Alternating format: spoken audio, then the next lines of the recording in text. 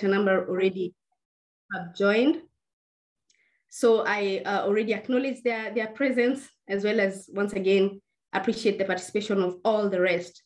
Feel welcome and um, prepare yourself for an exciting two hours uh, coming up because it's uh, not only a, a great topic that we're going to exchange on, but also we have such a great speaker as always, the norm in SALT Institute. So for now, I'd like to um, start with a word of prayer. And we have one of our students, Tyrone, who is going to be uh, the one leading us with a word of prayer. So I'm looking through the list and I see Tyrone is yet to join. So in that connection, allow me to invite uh, Pastor Herbert, who um, is always on standby to uh, usher us in, uh, in a word of prayer. Please, Pastor Herbert, would you kindly um, usher us with a word of prayer? Um, let us pray. Father, we are so, so grateful. We thank you for yet another privilege that, Lord, you have given to us. Uh, we thank you for uh, this guest seminar. And we thank you, Lord our God, for the topic that is going to be uh, discussed. We ask that your presence will take over the entire seminar from start to finish. We ask for the heavens to be opened in the name of Jesus Christ. We ask that, Lord, you will grant uh, the guest speaker, Lord, the utterance and the capacity, Lord our God, to do justice to the subject matter for which uh, this uh, seminar has been called. And above all, we ask that, Lord, we shall have a smooth uh, sail from the beginning of the seminar even to the end. May your holy name alone be praised. May your holy name alone be glorified. To you be all the glory and the praise. In Jesus' mighty name we pray. Amen and amen. Amen. Amen. Thank you so much, uh, Pastor Herbert, uh, for the introductory prayers. And I already see that our guest uh, speaker is, is on. Uh, and um, indeed, for those who are joining us, uh, and um, maybe by way of introduction, I am Catherine, and uh, I am I'm going to be the moderator for today. I am a student in the SALT Institute. And uh, for tonight, uh, this evening, we are going to have quite an exciting um, session looking into the quest for transformational leader, leadership and managing the conflict between integrity and money such an exciting uh, topic. And we have um, a very renowned guest, uh, a very renowned speaker who's going to be our guest speaker for, for uh, this uh, afternoon, uh, Dr. Mr. Manasseh Azure, who most of you uh, know because he's um, somebody that I will not even introduce further because we have a special introduction that we will do by one of the, of the students. Uh, but um, so for this, um, you know, 22nd day of February 2022, I invite you all for those who are joining us now for the second guest seminar series that is uh, normally held by the SALT Institute. We normally have biannual, bi-weekly um, guest series where we come together, reason together, exchange together, and not only get information from our uh, speakers, but also exchange because there's a wealth of uh, experience also around the screen, and uh, we, we always exchange uh, for the benefit of uh, um, for the benefit of um, our continent. Really looking together uh, on transformational ways that our continent can be and should be better. So tonight is one of those uh, evenings that uh, we will uh, listen through to an interesting topic as well as an interesting speaker. So with that, I would like, and I was also giving a few more minutes so that more people can join us. Um, and I would now like to pass over to one of our students, Grace, to officially introduce our guest speaker for, for this evening. Grace, please, you have the floor. Okay, thank you very much, Catherine for the opportunity. A very good evening to you all.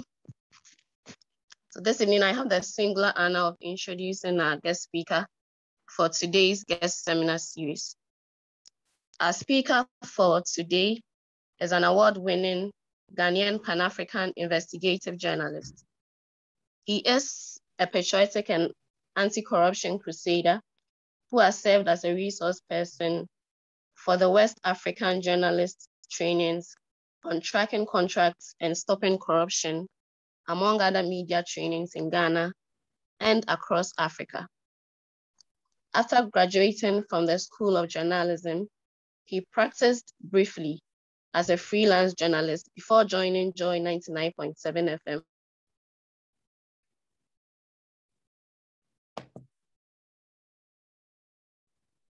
The senior broadcast journalist in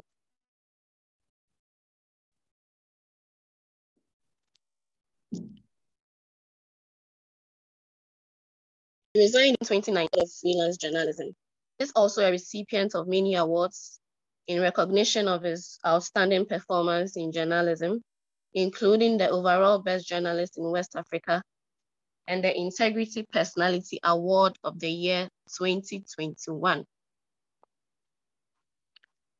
Ladies and gentlemen, please, let's welcome our guest speaker for today, Mr. Manasseh Azure Awuni. Thank you.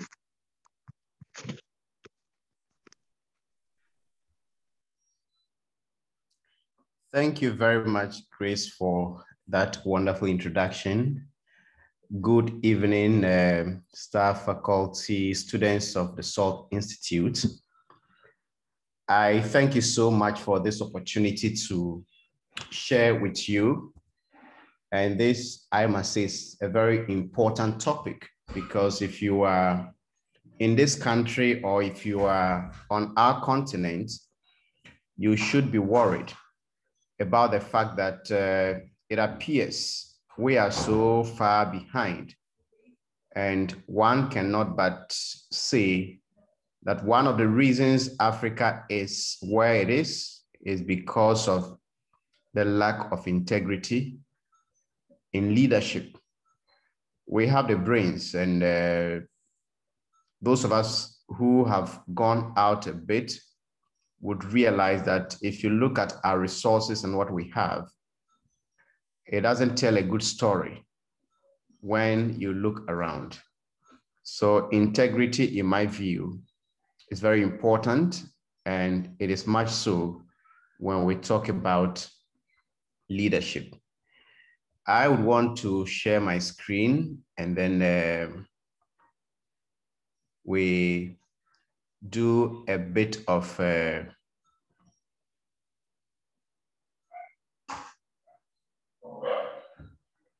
I don't know if it can be seen now.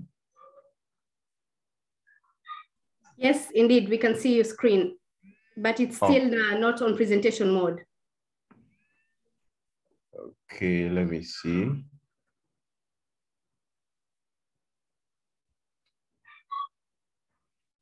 Is it now? Excellent. Yes. Oh, thank you. So uh, the discussion, which I consider it a discussion because we are here to share ideas. And then uh, what we are to think about, or the question, topic I was given, says the quest for transformational leadership, managing the conflict between integrity and money that is such a huge conflict. And I would want to focus on uh, two major things, the relationship between leadership and integrity and then money, and also the conflict that often arises uh, between uh, money and influence, or if you call it leadership. So the question that often comes to mind when this topic is mentioned is, so what is leadership? Or who is a leader? This is a very important question to a very simple issue. A certain uh, character in, I think, Chinua Achebe's Anthills of the Savannah mentioned that I don't uh, understand English. But if I hear Kacham, I don't need anybody to tell me what that means. So we all here know what leadership is. We all have an idea of who a leader is. But there are some people who have specialized in a topic and uh, they have certain views about leadership, what it is and what it is not. In research, I came across a number of uh, them, but one that enthused me was uh, a leadership author, Kevin Kruse, and he talks about what leadership is not. And he says leadership has nothing to do with seniority or one's position in the hierarchy of a company. So you can even make it a school, a university. It can be your home. It can be your business. It can be anywhere. And what he is saying is that leadership has nothing to do with seniority or uh, one's position in the uh, hierarchy of a company. And that is a bit troubling confusing because for a lot of us, myself included, we often equate leadership to those at the very top. But this man says it has nothing to do with this. He again says leadership has nothing to do with titles. And you may see a photograph of uh, one of the most, I can say the most decorated footballer of all time. Uh, those who have supported uh, Barcelona for quite a long time would uh, tell you how this man has brought joy to them. And those of us who have hated Barcelona for a long time would also tell you how much pain he has caused us anytime we watched him in his prime against our favorite uh, football clubs, Lionel Messi, seven Ballon d'Ors, and quite a number of awards, titles, and uh, records. But Kevin Kruse tells us that leadership has nothing to do with titles. We move on to another thing he says, or three of the things he says leadership is not. And he says it has nothing to do with personal attributes, uh, there are people, so this person is charismatic, this person looks nice, this person is uh, attractive, this person speaks well. Does it mean that once you speak well, that you're a leader? Once you look very good, you must lead, or once you're charismatic, that automatically makes you a leader? He says leadership has nothing to do with personal attributes. And there's one that I also want to add that leadership is not about being great or occupying a great office. I thought about this, or this has become so evident to me because of the man you see uh, in this slide, the former president of uh, the United States of America. America, in no doubt, is uh, the greatest country in the world.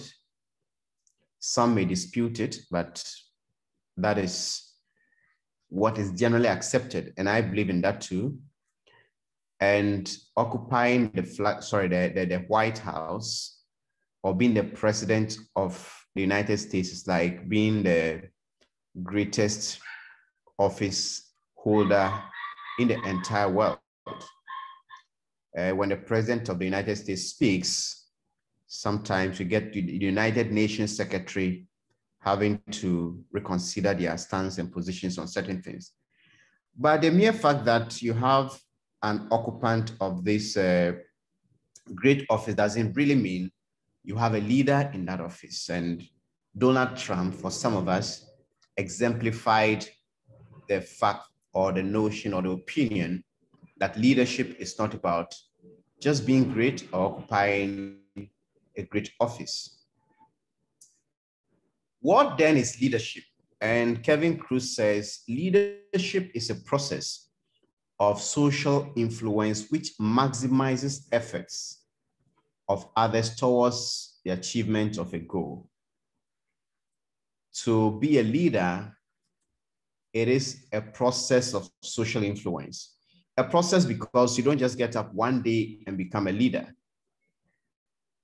it goes through a process. If you look at a traditional African system, our chieftaincy institutions, in places that uh, the institution is very well respected or even valued, these days there has been a number of, uh, or there have been a number of reasons that the institution has been adulterated. But we are told that in the past, if you are born into a royal family, you are specifically trained in a certain way so that when your time comes to ascend the throne, you wouldn't have a lot of bruises to your character or integrity. So leadership is a, an, a process. It is also about social influence. And that social influence is meant to maximize the efforts of others towards the achievement of a goal. So a great leader is not necessarily the person who can do it most. Lionel Messi can be a very great footballer, but that doesn't mean he would end up being a very good coach or even a good uh, captain. I have watched uh, Messi and I've also watched uh, Ronaldo, and I must confess, I like both, but I am a favorite uh, or a fan of Ronaldo more than Messi.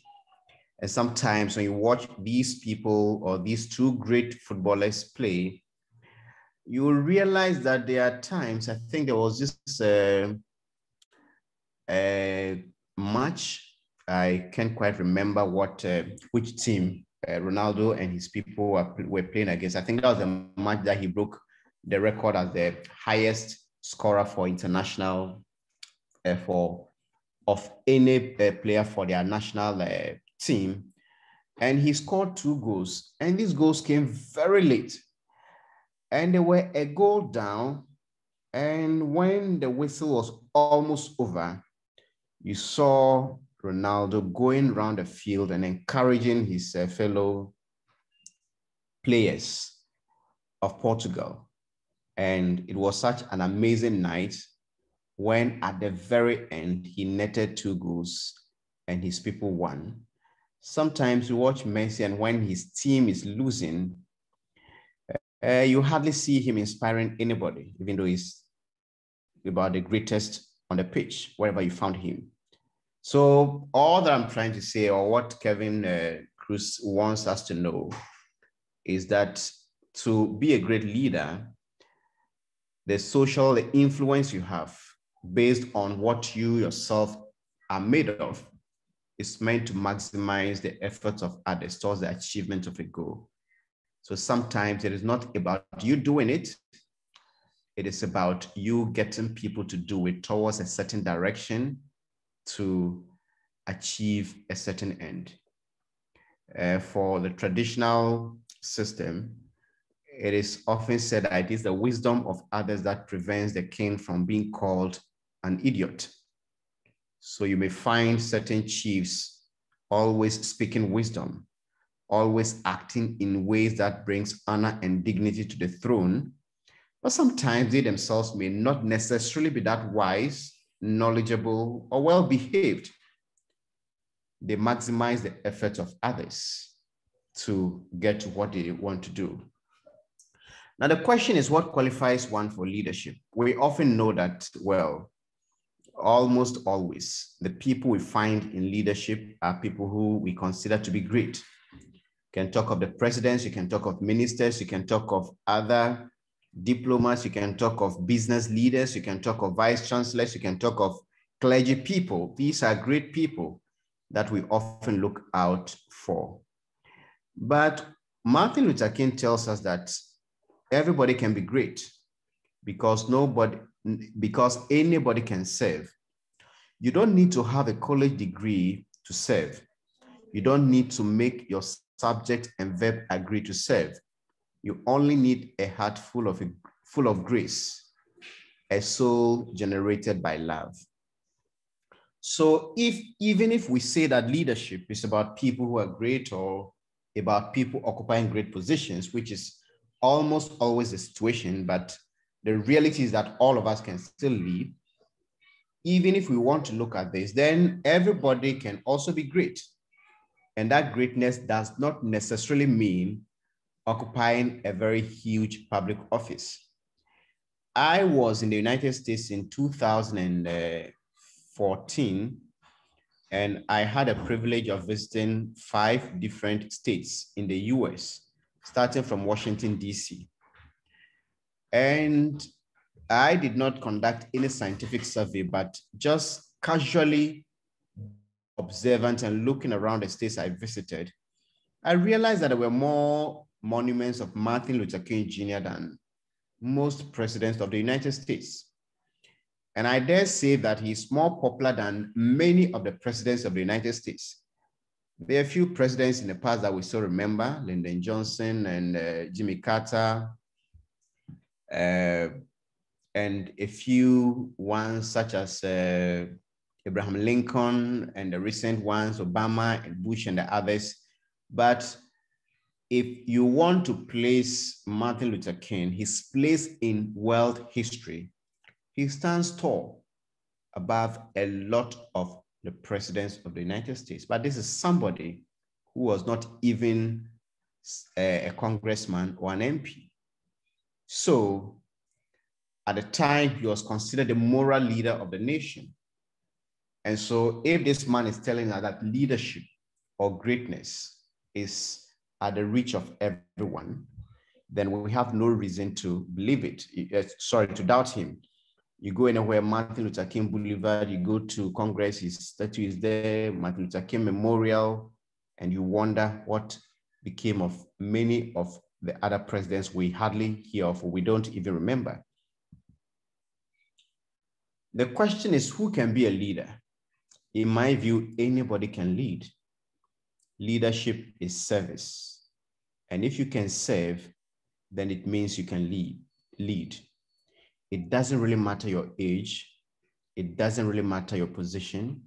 It doesn't really matter your profession. We had this 15 year old Pakistani girl who received a Nobel Prize because of certain boldness and bravery she exhibited. When people were so scared of the Taliban, this young woman stood up and was counted, and the world recognized him. In countries of that nature, you hardly find women willing to even uh, talk or challenge authority. And when the brutal regime of the Taliban set in, you hardly even uh, uh, uh, how do you call it, expected people of this nature uh, to bring up their voices or raise their voices. And uh, it is like that uh, in Iraq, Afghanistan, and a lot of those places. I also I come from the northern part of Ghana, and growing up, I knew that if you're a woman, your voice wasn't heard, even in the affairs of things. So in some of these Arab states where you have uh, very radical movements, it was very difficult for such a person to stand up. But she made her voice known, her impact felt, and the world stood up to celebrate her. So I believe that everybody can be a leader. Everybody can influence others. And when we talk of leadership, let's not only think about the national level, there's leadership at every level. The best form of leadership is what you exhibit at home. You can be a student, you can be a teacher, you can be a nurse, a doctor, a politician, you can be a security at the entrance, but you can exhibit certain qualities of leadership that others will be influenced positively and be held to attain or achieve their organizational goals. I have worked in places before and I have come to realize that there were certain security men at the entrance or car park that I respected more than some of the managers. So it doesn't really matter your position. When we talk about transformational leadership, I say that uh, good or trans transformational leadership often begins and ends with integrity. You can't say somebody is a good leader, somebody is transformational in their leadership and say, well, the only thing they lack is integrity. If you lose it, then you would find it extremely difficult to be placed side by side with leadership, let alone transformational leadership. And in this country, we have an organization that we grew up with to know that the motto of that organization was service and uh, service with integrity.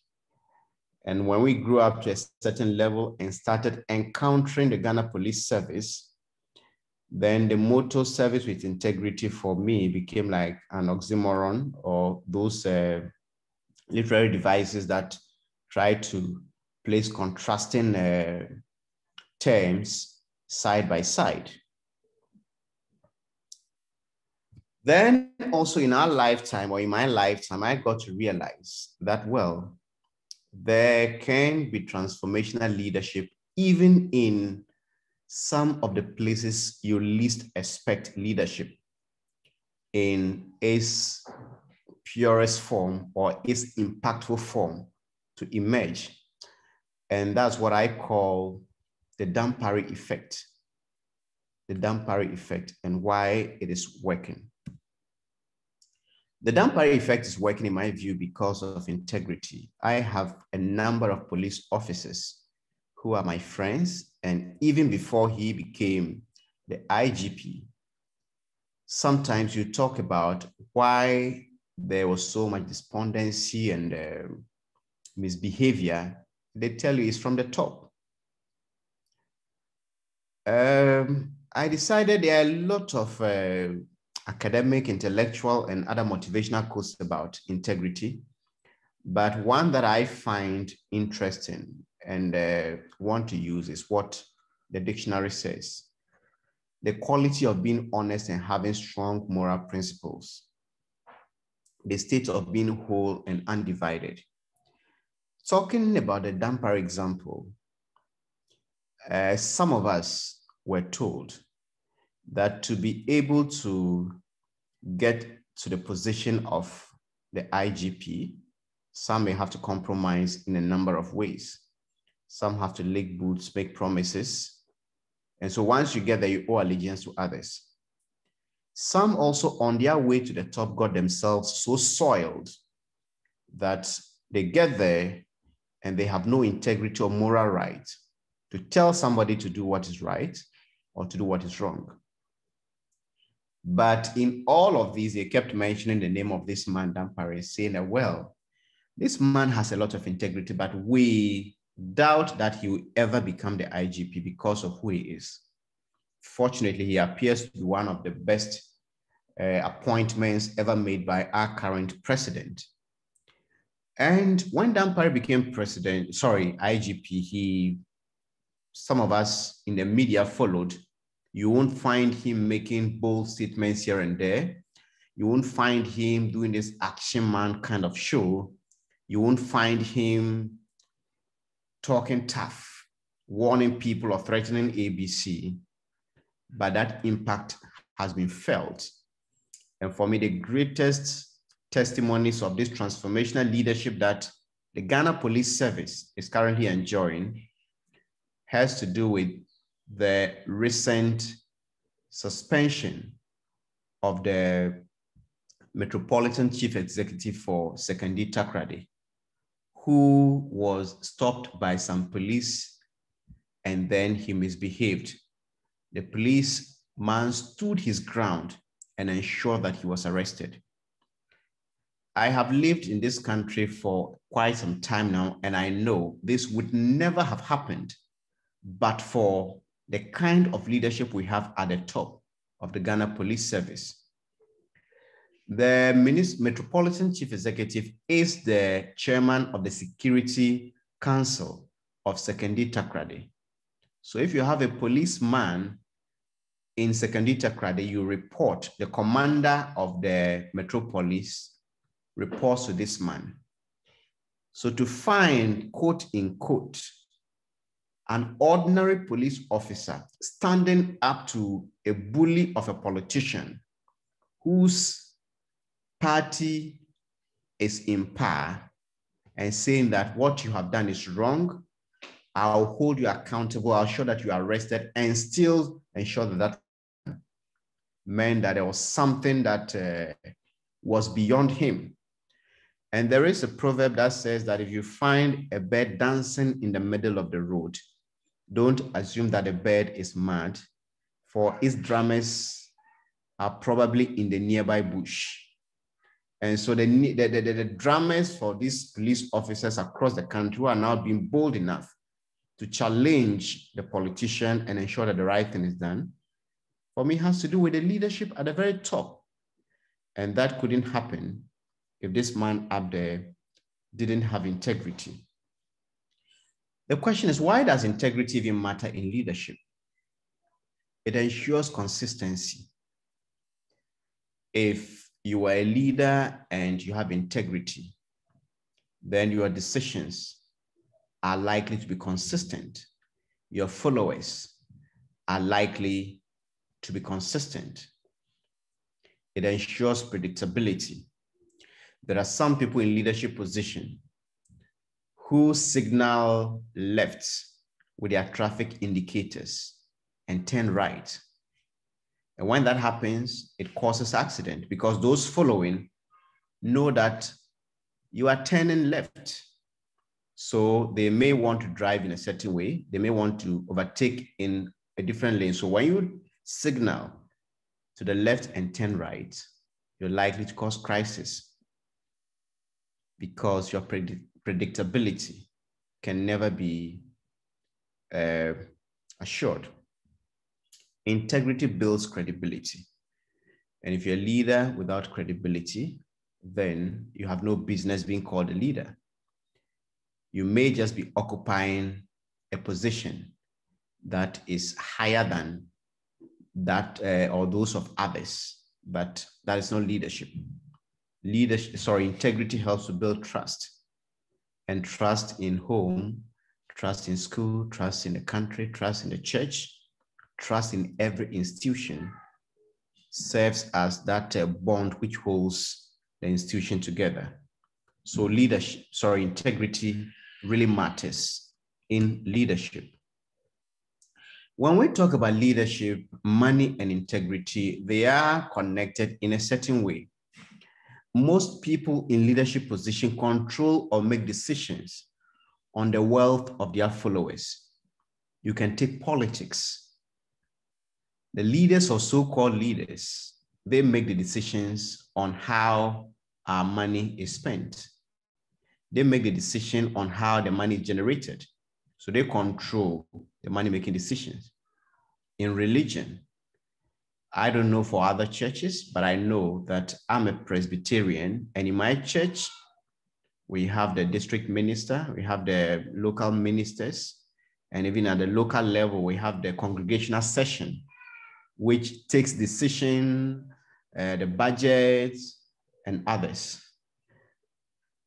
In institutions such as the SALT Institute, I do not believe that the decision on what to spend your money on and how to spend it will be taken by the students or the cleaners or the security men.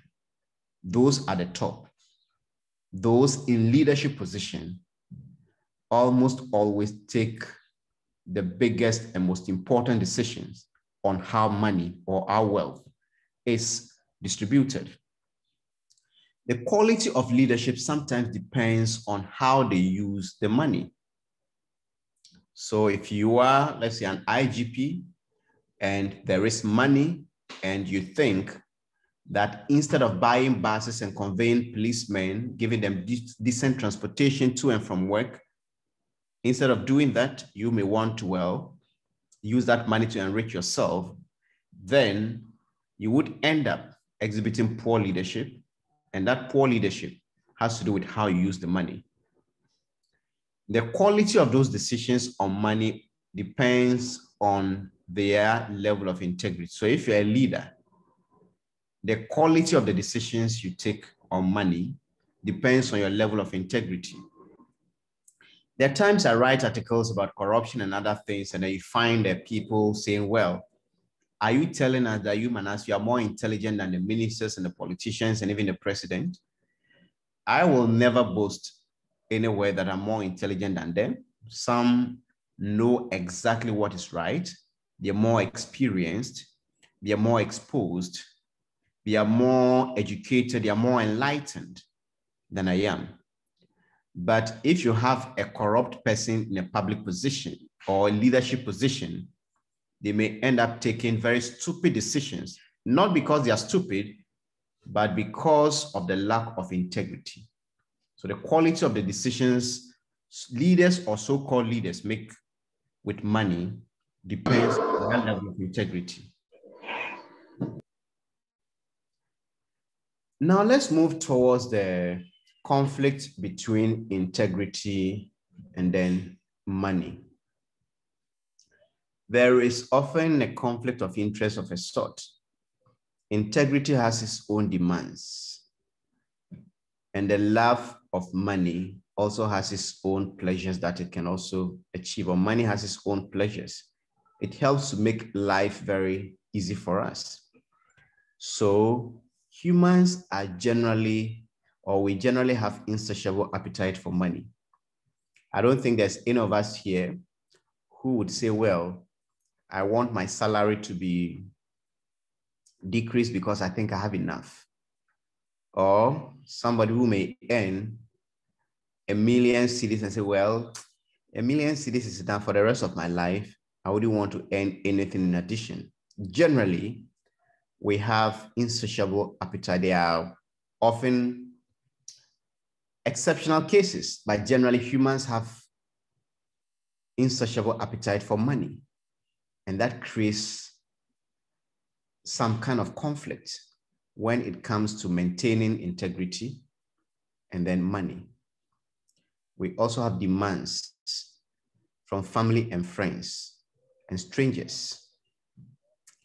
Uh, if you occupy a certain position, the, you're expected to have money.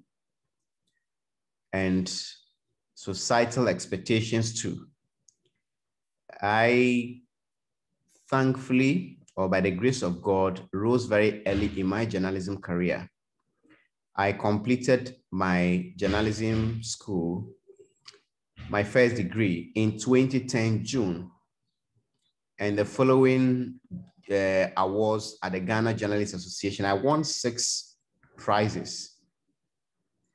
Sorry, I won three, including the most promising journalist of the year. And then the following year, I won um, four, making seven in less than two years since I completed, and the following year, the overall best journalist in Ghana. At the time, all that I had was a small motorbike, which I got with the help of my brother. I wasn't actually working and being paid. I was doing freelance reporting in Ghana. Freelance is understood to be working for free, even though that's not what it's supposed to be. I became the journalist of the year and I had a small motorbike and I met some senior journalists who were not so enthused that I was riding a small motorbike. And what they said was, look, being a journalist of the year is just like uh, uh, being uh, the face of journalists for at least now. If they call for a meeting and you come on this motorbike, it doesn't befit the kind of honor that has been bestowed on you. But the other reality is that, or was that I wasn't earning enough to, to be able to even buy a good motorbike, let alone a car. So how were they expecting me to fund that kind of lifestyle? Then in uh, 2013, I joined Joy FM in November 2012. Two months later, January 2013, I got some tip off about some corruption at the Ghana Youth Employment and Entrepreneurial Development Agency. A lot of officials were involved, and I hadn't even got to the top. But one of the first GYEEDA officials I met was offering me a car. And his uh, point was that, oh, I'm not doing this because you're investigating us. You see, you are such an asset to the state, and this motorbike you are on isn't safe you need to be protected. I told him, thank you.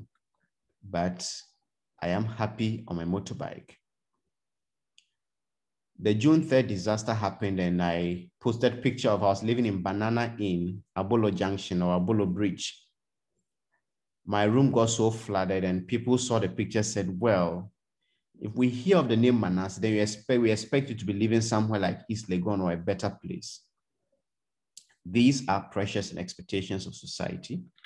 The truth of the matter at the time was that I was barely earning enough to take care of my needs, the needs of my family, and also to even rent a decent place.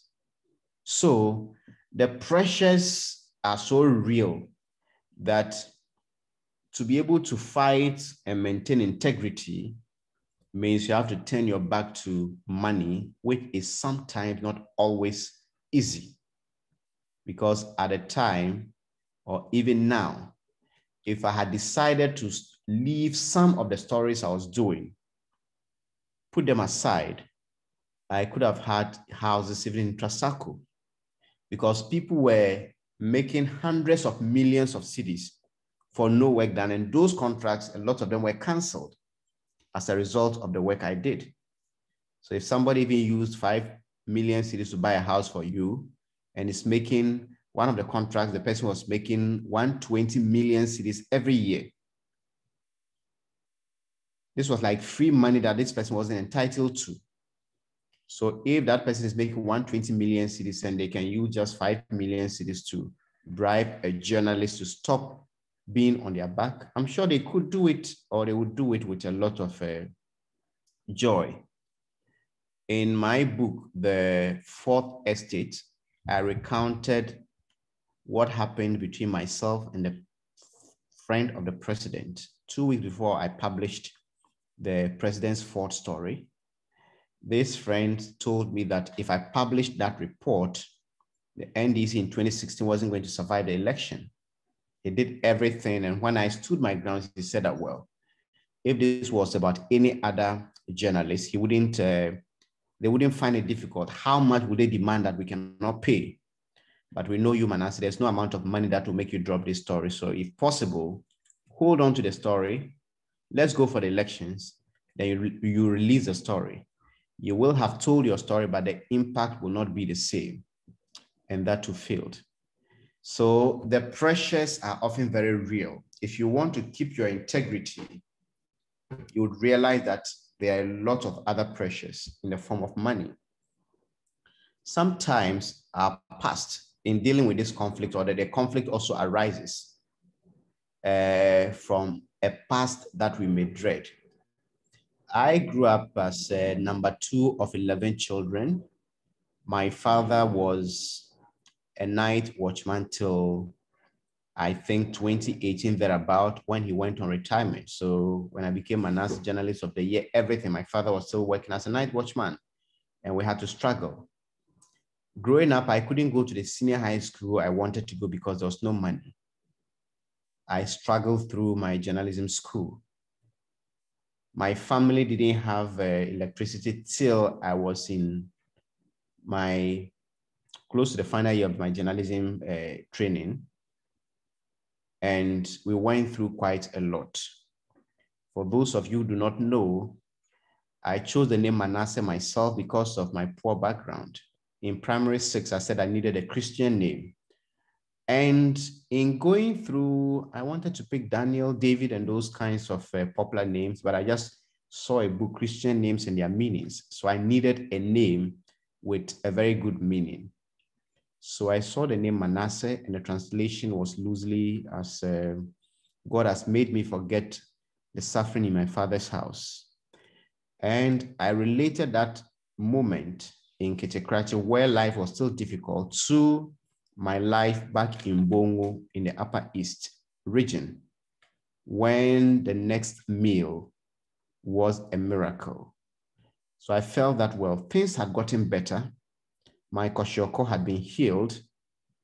And so in primary six, I chose the name God has made me forget the suffering in my father's house, Manasseh, the translation I saw in that book to reflect my situation.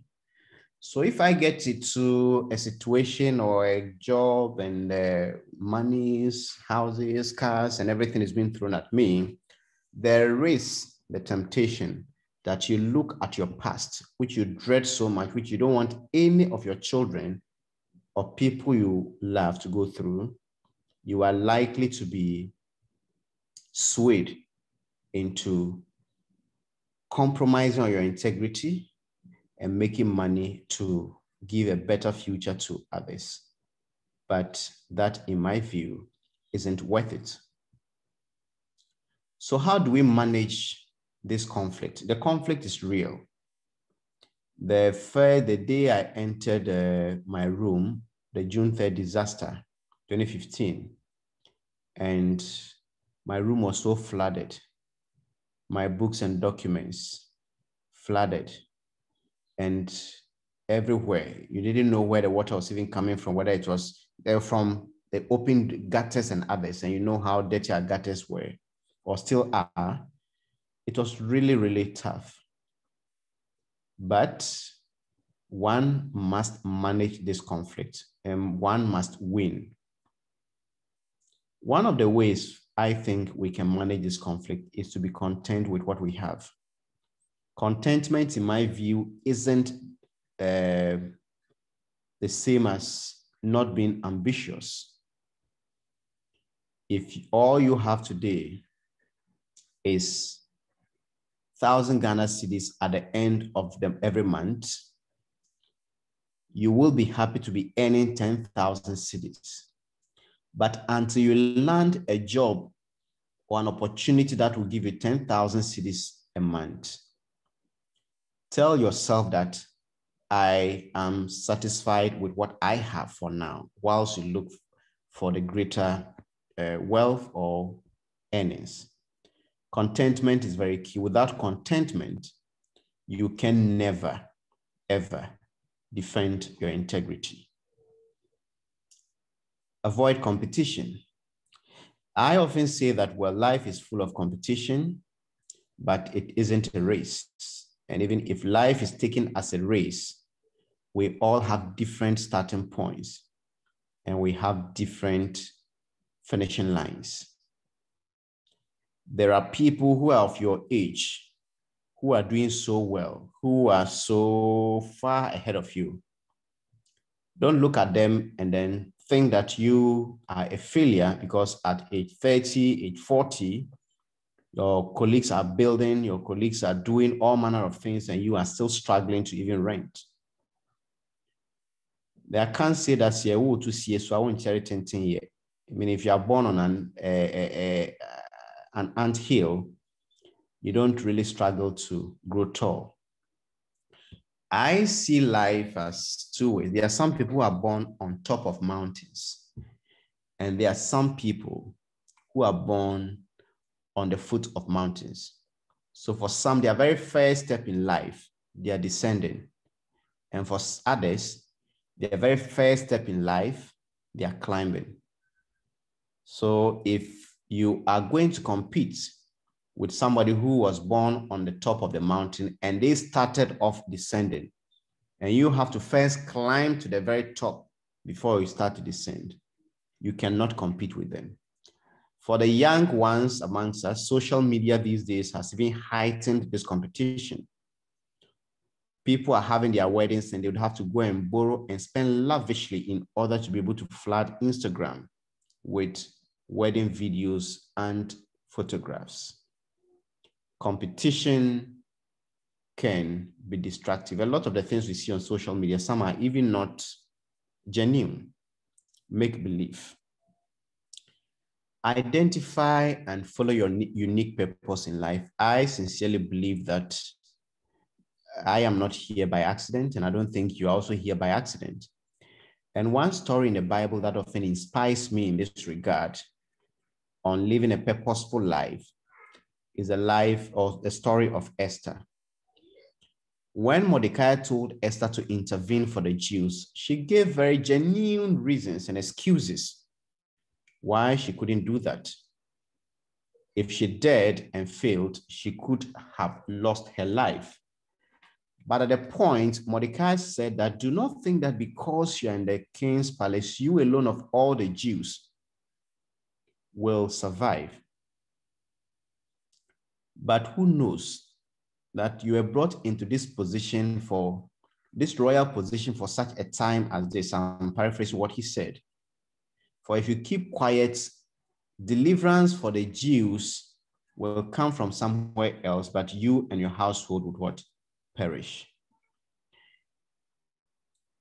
Esther heard these words. She was so touched. She told them to go and pray. She and her servants would pray. And on the appointed day, she would appear before the king, even if she wasn't invited to intercede for the Jews. And she said, If I perish, I perish. If you look at the circumstances under which, uh, sorry, Esther got such favor in the palace, and Mordecai telling her these words about the purpose for which she might have risen to that royal position, then it was only fitting that she take that risk. And she did take the risk, but the Jews were saved because of her. I don't know your story. I don't know where you're coming from. I don't know the position you're occupying. I don't know where you want to go, but I sincerely believe that wherever you find yourself, don't think that you are there just because of you. You may be in a certain position not to become the greatest leader, but to groom the greatest leader. You might be in a certain position not to be rich, but to raise millionaires. You might be in a certain position not to become influential, but to just give hope to somebody who would have given up in life if you were not there. So if you become selfish and everything is about you, you are likely to amass wealth through fair and foul means, get to the very top, but you may end up not living the purpose for which God created you. So knowing your purpose and following it would help you to manage the conflict between money and integrity. I wanted to be a bank manager till at a point, I believe journalism is a calling because I growing up, I saw the bank manager of Ghana Commercial Bank in Ketekrachi. He had a small Opel car. He was in tie and suit. And in that small district, I couldn't think of any more successful person. So I went to do business and uh, applied to the University of Cape Coast to do BCom, Bachelor of Commerce. That's in 2005. I didn't get admission. I was waiting to apply the following year. And then a certain man met me one day casually and said, Manas, you write so well. Why don't you go and do journalism? I said, I did business and not journalism, so I couldn't become a journalist. It was the first time I heard that a business student could apply to be to study in the School of Journalism. It was the first time I heard about the Ghana Institute of Journalism, and I applied. And looking back, I have no regrets. The modest impact in the life or lives of certain individuals is more rewarding than any position I could have held in my accounting profession. So for me, um, when I didn't get admission to the University of Cape Coast, I felt so distraught. But a year ago, the final year students of University of Cape Coast, the communications department, their final examination or end of term examination was on the works of a certain journalist called Manasseh. So the university that denied me admission had eight students now studying my work. And I couldn't be more grateful to God for denying me that position. So I believe all of us have a purpose to achieve in life. To be able to manage conflict, the conflict between money and integrity, I think we should admit that poverty is real, but we should also admit that poverty is relative. I wrote uh, an article recently, and uh, it was about the Despite Bugatti and the matters arise. And I said, look, sometimes we make the mistake of thinking that because somebody has a big mansion in East Legon, you are poor because you have one bedroom house in, let's say, uh, Oyarifa or any of the places that may not be very prime. The fact that somebody is riding in a Bugatti doesn't mean that you are poor because you are driving a Kia Picanto. The fact that somebody can afford to eat in Kempinski uh, breakfast there, eat lunch in Golden Tulip, and spend a weekend in Dubai doesn't mean you are poor because of your modest lifestyle. Sometimes we bring so much pressure on ourselves just because we tend to equate poverty to what others have. We try to match it. And if we don't match up to their standard or level, we think, well, we are poor. I believe that if you acknowledge that poverty is real, also acknowledge that it is relative you are likely to be able to be content with what you have. To manage the conflicts, one of the things I think we should also look at is to live each day as if it were our last. All of us here at this uh, functional program, there is none of us who can beat our chest and say that tomorrow by this time I'll be alive. No matter how healthy you are, anything can happen and you would wake up tomorrow and your name will no longer be called, you'll be referred to as the body. It is very possible. So if today were your last day, what would you care so much about? Would you want to go about amassing wealth in a very negative way and depriving others? Or you would want to leave a legacy, you'd want to be reminded you would want your name to evoke certain respect and admiration, even if you are when you are gone. Living each day as if it were your last, which is very much possible that it could actually be, helps you to set your priorities right. And setting your priorities right, in setting your priorities right, ill-gotten wealth shouldn't be something that you should want to consider when your last day is reducing to hours. Also, to be able to manage this conflict, I think that you should begin to believe that when it matters most, money, money doesn't matter. When it matters most, money doesn't matter. When it matters most, is when life is departing from our mortal bodies. We one day woke up and realized that a certain very powerful man went to work as a president of Ghana. And uh, wherever he sat, you would realize that he's, uh, or when he was asleep, people had to be awake. He was heavily guarded. But by the close of the day, he was referred to as the body, not his excellency. He was in the morgue with ordinary people, including homeless people who had been knocked down by vehicles. They couldn't build his own morgue for him. If money could save him at that point, I don't think President Mills would have died. So money, as people say, money, you see people on social media, whenever a rich man displays wealth, that money stops all nonsense, money solves all, solves all problems. No, sometimes when it matters most, your name can sometimes be better than your money. Make your currency, currency more valuable than a legal tender. The currency, currency of your life the importance of your life, the weight people attach to your name should be more valuable than just a legal tender, than a dollar note, no matter how many of them you have. There is a businessman in uh, Zimbabwe, Strive uh, Masiyiwa, Masiyiwa, and he says integrity is better capital than money you can accumulate it just like money and you can use it just like money. But it goes further. And it is enduring. So I am not here to tell you that money is not good. Far from it. Money is good.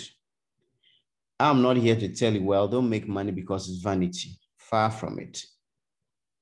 Make money if you have the ability, the skill to make money. But don't make money in a dishonest way. The money that belongs to you is something you have worked for or something somebody is giving you genuinely without any negative strings attached. Make money in such a way that you can sleep peace at night.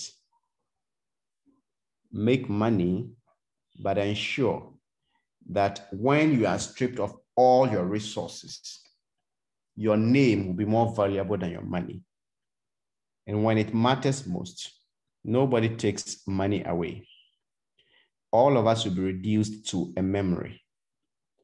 And it will be better for people to say, well, to this uh, boy, his father, his mother was a man of integrity, than to say, well, his father was that rich man, but uh, these rich people, there were so many stories about how he made his money, and we never got to the bottom of it. And he died tragically, and uh, see how now everything is scattered.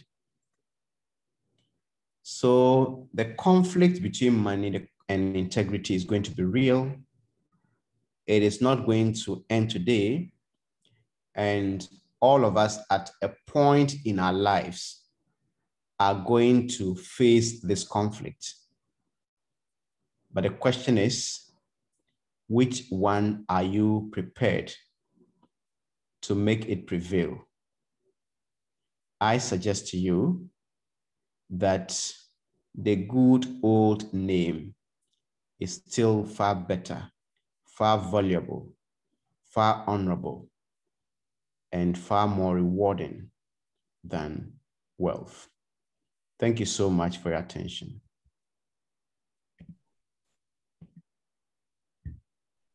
Thank you very much. Well spoken. Thank you. Thank you. Thank you very much. As predicted, the presentation has been intriguing, very personal, and uh, what most uh, people in the call today can relate with. Thank you, Manasseh, for such an interesting presentation. Very impressive that you, uh, by your own initiative, even changed your, your own name. This is certainly what must and should be done in our continent. Transformation and positive change and integrity, as you have already highlighted, is the core, the center of it. So as we started uh, this series this uh, evening, uh, I mentioned that this is where we have candid discussions on uh, pertinent and contemporary issues that affect our continent. We not only talk about the issues, but we also think together on some practical solutions that our countries, our continent urgently and desperately needs. So we deeply appreciate your insights and also to reconfirm, we have such a wealth of experience on, on the call to uh, this evening, uh, Salt Institute management, and I'm sure we'll hear uh, some, of, some, some of the management uh, giving some comments or even posing some questions. For sure, leadership is a process. And in SALT Institute, this is where the process is intentionally shaped and domesticated to get transformational leaders into the continent.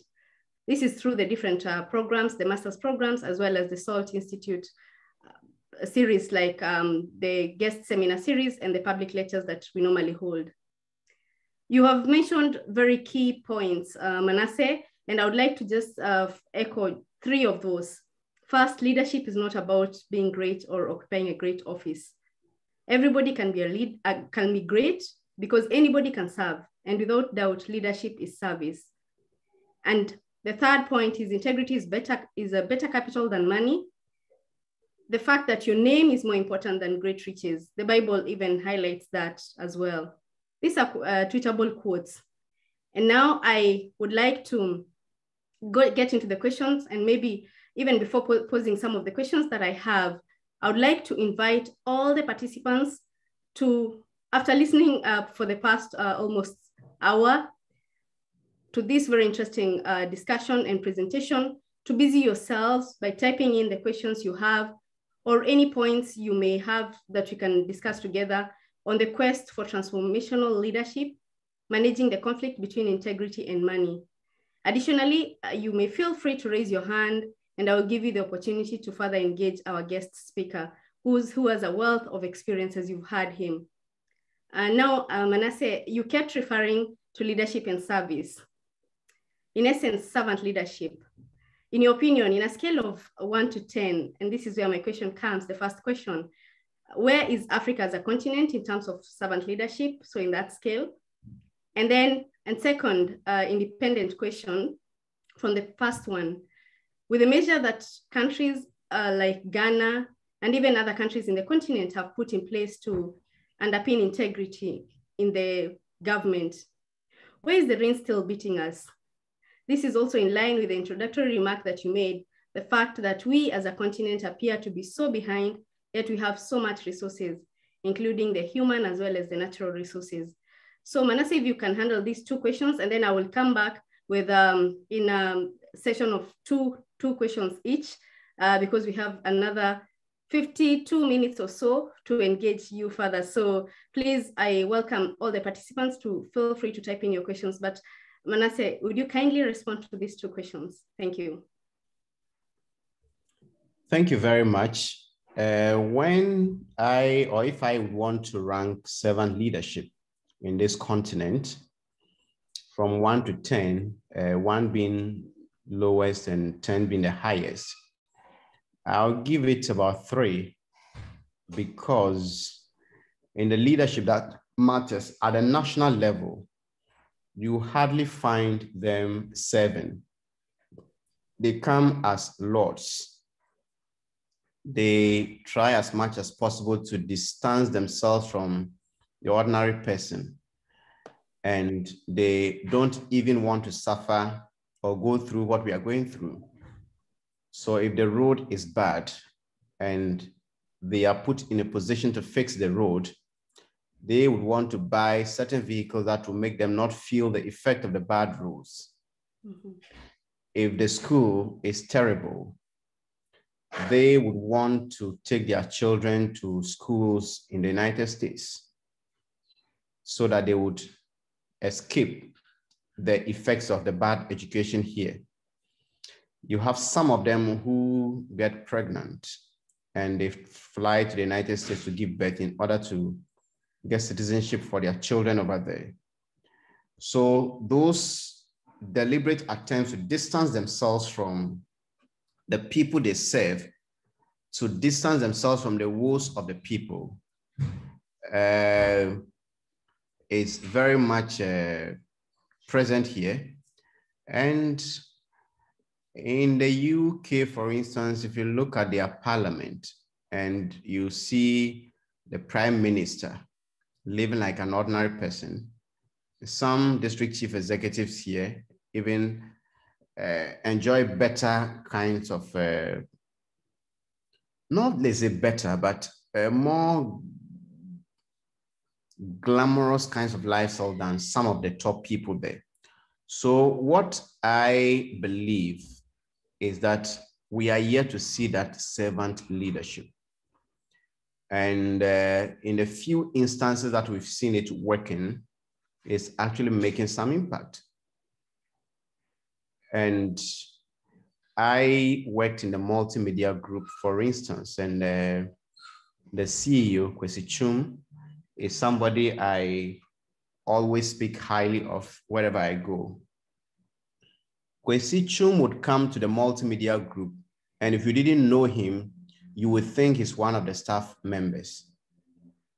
He comes dressed like he, you won't find him showing off. Some of the people he employs even uh, show off more than him, just very ordinary.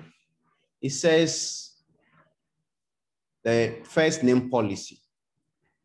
So I can, hey, see this is one and this is how we relate. I have stopped working. I resigned from this institution, but from time to time, I receive a call. Oh, hold on, Manasseh. He doesn't need a mobile phone. Hold on, Manasseh. Kwesi wants to talk to you.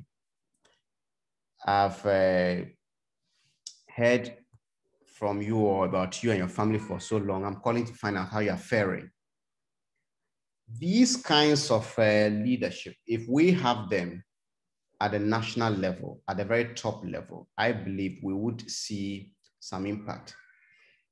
The person not just trying to let everybody know that they are greater than everybody, but relating at people's level, meeting them at their, uh, their, their, their level and addressing their needs. So if African leaders, and in this case, I'm putting the leaders in quotes because what we have is not truly about leadership.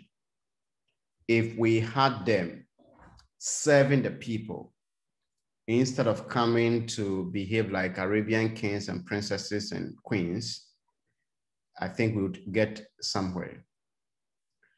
Now, the reason I think you, the second question has to do about the certain measures being put in place to uh, ensure integrity in public life and the rest, but we don't seem to be seeing uh, the impact. I believe uh, it is not so much about who or what is being done, it has more to do with the integrity of the person doing it. When Obama came to Africa and addressed Ghana's parliament, he made a statement that uh, made a lot of waves across the world that Africa needed strong institutions and not strong leaders. I also believe that strong institutions are not built by just the walls or how glamorous those institutions are, but it takes strong people. And when I talk about strong people, it's not the cowards who hide behind guns. No. Strong people are men and women with integrity, men and women with values, men and women who have principles, men and women who are prepared to suffer for what they believe in, the righteousness they want to exalt. These are the strong people I think we need to build a country. So we've always had a Ghana Police Service. In time past, you had some of them doing presentation and telling us that, look, the police service cannot do or be independent and take on a politician or do what is right because if you arrest somebody, you hear a call from the politician. Then we had a certain crazy police officer called ACB, uh, uh, ACP Angwubutoge Awuni, who was so bold that he arrested a former Greater Accra regional minister who was MP at the time. The minister said, you don't know who I am. I can, he removed his cap and say, take it. If you think you can be a better police officer.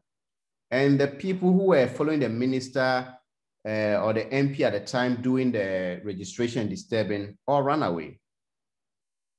I have already spoken about the police officer who is able to challenge the chairman of the Municipal Security Council and prevailed. And this happened because there is a leader at the top who would not signal left and turn right. So the average police officer knows today that if I misbehave, I will not be shielded, even if the politician intervenes if I do what is right, I will have an IGP to back me. So in the past, when this uh, municipal chief executive would go there, misbehave, and the police say, stop, stop. Then once he stops, oh, honorable, sorry, oh, your boys are here. Oh. And they salute and then go. That era is gone just because we have leadership. So some people ask, Manasseh, will Ghana ever get better? We will get better if we ever have a Dampare at the Jubilee House. We'll get better or ever have a Daniel Yao Domelevo at the Jubilee House. They are not angels. Nobody's an angel. We, have, we all have our weaknesses, but at least you should have people who are who stand for something, not people who preach certain virtues, get to the Jubilee House and become the polar opposite of what made them who they are, but people are prepared to suffer for righteousness. And once we get those people leading the nation, there's likely to be transformation.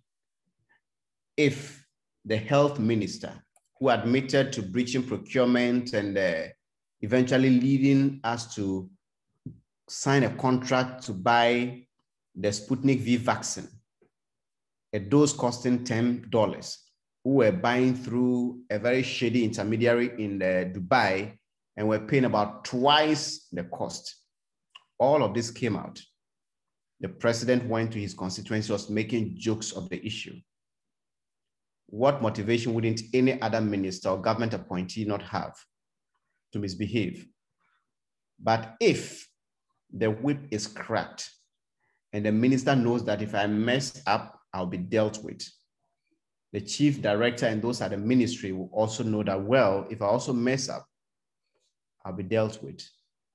At the end of the day, the nation will get better. So I believe that what is lacking is not so much about our institutions, the constitution, and the rest, but principled leadership with integrity is what we are lacking. And once we are not able to get that, we can only keep praying that one day we get such a person. Thank you. Thank you. And the prayer is that one day is sooner rather than later. I see in the comments, uh, the participants uh, appreciate your brilliant lecture and uh, thought-provoking insights. You're truly walking the talk. Bravo, and uh, keep pressing on. We cheer you on, and uh, I can confirm that you're an inspiration to the youths, not only in Ghana, but also around the continent. So before I get to the next question, I would like to indeed underline what you've mentioned, that indeed we need strong systems as well as strong people in those offices. Because with the strong systems and then uh, we don't have people of integrity, then the systems do not do well, do not serve the purpose. So the two are, are really a requirement for us to progress as, as a continent and as a country. So I see uh, a number of hands already raised. I would like just to uh, come to a second question and then I'll now give the floor to the participants. Please feel encouraged to type in your questions. I'm monitoring those as well as raise your hands. So the, um, the next question that I would like uh, you to look into is, um, you know, having won all the accolades and uh, one of the prominent ones you've mentioned is the most promising journalist of the year. You've already shared your personal experience on how the youth um, should maneuver such uh, societal expectations, especially in the wake of digital influence, which really is a, is, um, key, is a big thing as I see it. So in, in, uh, in a nutshell, Manasseh, would you please talk more on how to escape, quote unquote, these societal expectations and more so uh, in the wake of social media pressures like Twitter, Facebook, uh, etc. I know you have uh, mention something like that, but I would like you to spend a few more minutes just to uh, embark on that. Thank you. Thank you. With the social media influence, it is uh, before it even came, uh, we tend to look at ourselves and measure our progress by also looking at where those with whom we began life are today. So if I went back to Kete where I went to primary, junior high school, and senior high school, and realized that a lot of the people I graduated from high school with have come to build mansions. Society is going to measure me by what I have also done. So they are going to say, well, your colleagues are building mansions. What do you have? I was in Germany uh, in 2020. Then I went to visit a friend who is a German. And I realized that he ever worked in Ghana here. And so the wife is a Ghanaian. And so we're having a conversation. This young woman said, uh, there they do bicycles a lot because the trains, the transportation system is so effective. So uh, there's really no need for a vehicle for a lot of people. But you can ride a bicycle, get to a train station, park it, and then take the train to work when you come. And some use it for exercise and the rest. So a bicycle is a big deal. Then the husband bought a bicycle for her. And she took a photograph and sent it to the mother and was so happy. And the mother said, wait, Jimmy Dodo.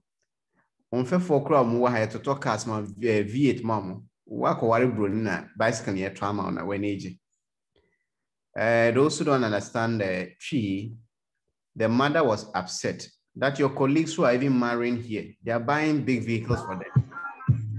You have married a white man, and all that he's been able to do for you is a bicycle.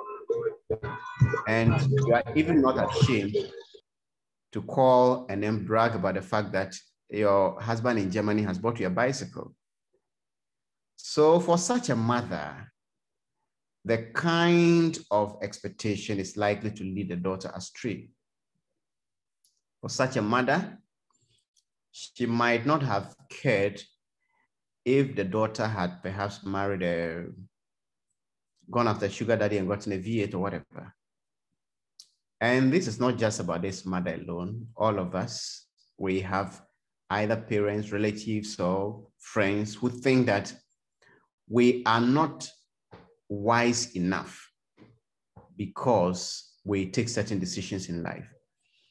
So I would want the young people to know that, look, self-confidence is key. I've already spoken about, uh, I've already spoken about uh, contentment. But your worth in life is not determined or should never be determined by the number of likes or comments you attract on social media. Your worth in life should not be determined by whether or not your marriage or your wedding trended. Just move according to your own uh, pace. And there are times people also just copy wrongly. When I was having my wedding, for instance, uh, Jandel was the one that did the decor for me. Jandel is one of the top people here. So if you think that, well, even Manasseh got Jandel to do his decor, how much more me? The, what you may not know is that Manasseh and Jandel come from the same district, Bongo, and Jandel takes Manasseh as her son. So what she told Manasseh was that, well, you mentioned something you can pay and I'll do it for you. And that was the arrangement. The shoe I wore for my wedding was uh, 50 cedis. And the African print I wore was less than 200 cedis. Does that mean that I had a bad marriage? No. Wedding is just an event. Marriage is a lifetime activity. God blesses you and helps you to be in it. So we shouldn't just be in a hurry to also trend like others trend. No, just be yourself. And there's a trend which is very worrying. Young people borrowing, owing so much.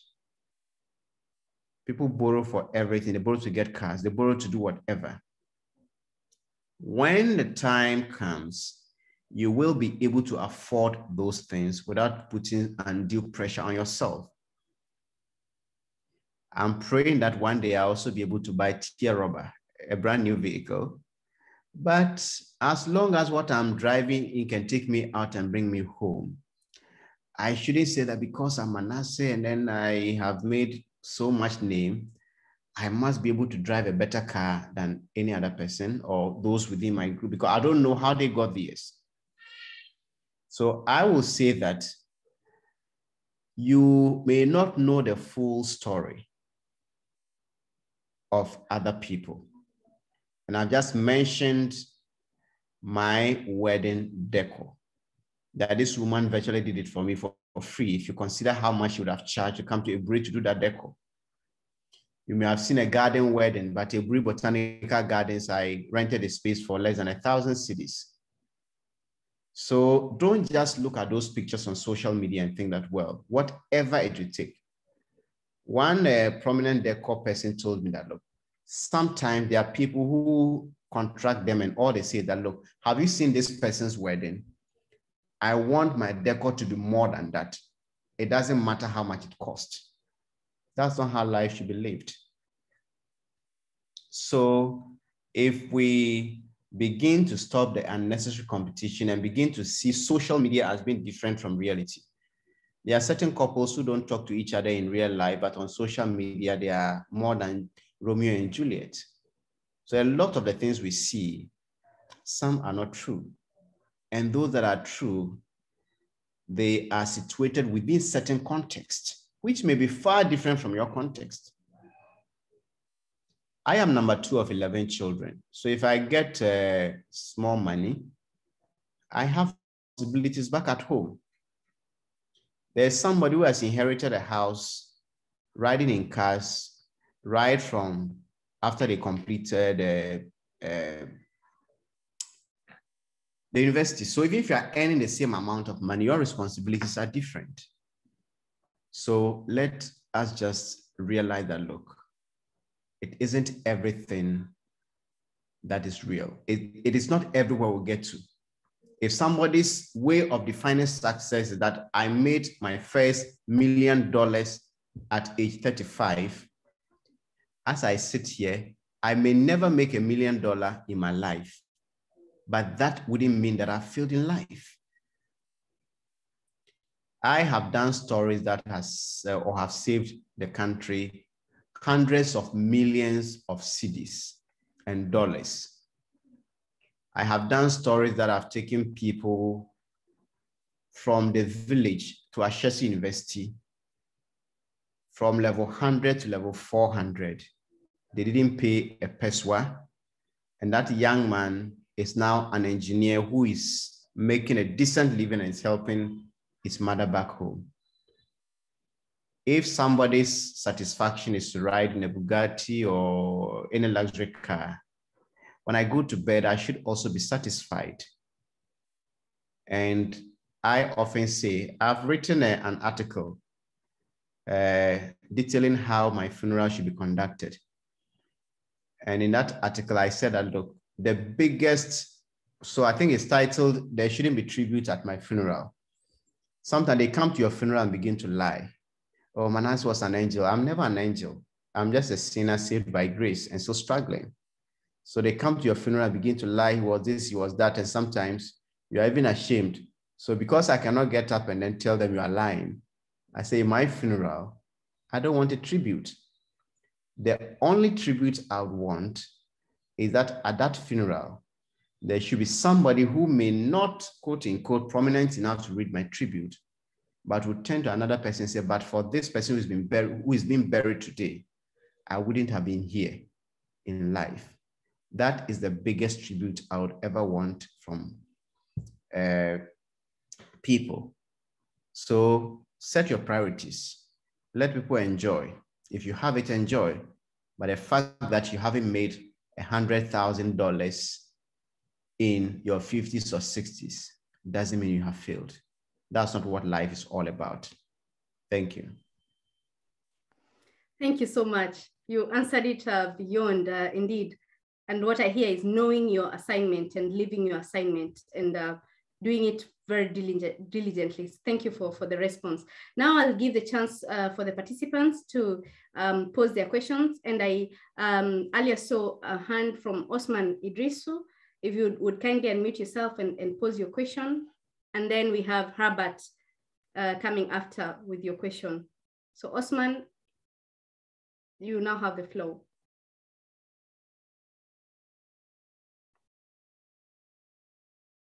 So as I do not see um, Osman's hand once again, so I would uh, pass uh, over to Herbert, but Osman, in case you still have your questions, don't hesitate to have your hand back and then I will give you the floor. Herbert, please, I see you have two questions. Go ahead and post those uh, right now. Um, thank you very much, uh, Catherine, uh, for the opportunity, and thank you, uh, sir, for uh, the thought-provoking presentation uh, that we have received. as the presentation was ongoing, two questions came to my mind. One of them is that uh, in the African continent, we find ourselves in a situation where it's as though we've been, and I'm talking with regards to leadership, it's as though the leadership we have uh, has been uh, built on the foundation of uh, corruption, on the foundation uh, of the quest for uh, wealth. And uh, the serious part of this matter is that this uh, thing has trickled down to the younger generation uh, of today. And it's very amazing how uh, the youth seem to be caught uh, in this kind of uh, situation where the drive uh, for quick wealth, the drive for money, and so on seems to be the order of the day. My question is how do we break uh, this kind of uh, cycle uh, with regards to the subject matter of managing the conflict between money and uh, integrity in our society? I'm asking this question because it looks as if that this issue of lack of integrity has persisted uh, over the years in many of our nations in Africa. My second question uh, is that with the issue of corruption uh, being a big a big canker in our nations and looking at the fact that uh, our systems, our institutions seems to be challenged as far as the fight of uh, this menace is concerned. I'm beginning to see that it will take us a long time to really deal uh, with the root of the problem and to tackle this challenge uh, as uh, as far as the issue of uh, restoring integrity back to our uh, leadership institutions is concerned. What is your take uh, on this assertion? Thank you very much. Thank you very much, Herbert, for the questions. The two are very much related. And I was a student leader. I, 2009, 10 about, I was the vetting committee chairman for the National Union of Ghana Students. There was a congress in Kumasi, and after that congress, I lost interest and respect for student politics or student leadership, as they call it. I realized that that kind of uh, politics was more acrimonious than the national politics. The propaganda and the mudslinging there is worse than what happens at the national level and to know that these young ones use those uh, fields as preparatory grounds for national politics should give anybody who cares about the country a lot of headache. But that is the reality. I think also that because uh, our democracy, and this happens for most part of the continent, has become a transactional one give and take. People are buying power. So you can have a very noble person who wants to go to parliament in that constituency. And another person comes with a bag full of cash, perhaps a criminal, somebody without any morality, somebody they wouldn't even want to be associated with their family. But once they see the cash, they turn their backs against the person with nobility, integrity, and all the values that one would want in leadership. So it's such a big problem. The question is, how do we deal with it? It is going to be really, really tough. Uh, you speak to the politicians, and they themselves are becoming very worried that you would have to make money to stay in office there are some seats in the last election that you know that either NPP or NDC candidates somewhere could not have won a particular seat, but with money, they did. And the people voted for them never cared to know where the money is coming from. So I think one of the reasons, one of the, the solutions which may not yield the needed impact as early as we want is to go back to the roots. We should begin to emphasize the value system. It should start from homes. It is good that uh, SALT Institute is finding issues of this nature very necessary. I know university like Ashesi has started something they call the honor code, that certain students can even write examination without invigilation, and they are trusted not to cheat. If we begin to teach these values to our children and leave these values for them to see, a time will come when we'll be able to build a critical mass to lead a revolution of integrity, honest, and principled leadership. And once that happens, we should be able to make some headway. The current situation we have is giving politics or power to the highest payer. And if we continue this, we are going to crash because when that person makes the money, sorry, invest, they will have to recoup, recoup it. And never buy this lie that, oh, as soon as he had his money before they got into politics. No. Some of them that we claim or we are told had their money before they got into politics, still more than those who had nothing. And they steal through very dubious contracts from the ministries, departments, and agencies. So a contract that is supposed to cost uh, uh, 1 million cedis will end up costing 63 million cedis. And this example I'm giving is actually a fact. There was a contract to procure waste bins and bin liners. So the bin liners, I investigated this and I can uh, attest to it. I went to the company. It was one of these Zoomlion companies. Some of you may have realized I've done a lot of stories about this company. They were supposed to supply 900,000 pieces of bin liners. So I went to that same company to take invoice in order to compare how much they were supplying to the general public and how much they were supplying to the state. So I needed 500 pieces, but the government was buying 900,000 pieces. So the economies of large scale should set in, and then the government's one should have been cheaper than what I was buying. So when I went there, I asked of a piece. So they even did a calculation, a piece of bin liner. This rubber they use to cover waste bins so that it doesn't stick. And guess how much they were selling to the general public? A piece was being sold at 98 pesewas, less than one cedi. So the 900,000 pieces, even if we increased it to nine, uh, sorry, one cedi a piece, then that product would have been going for 900,000 Ghana cedis.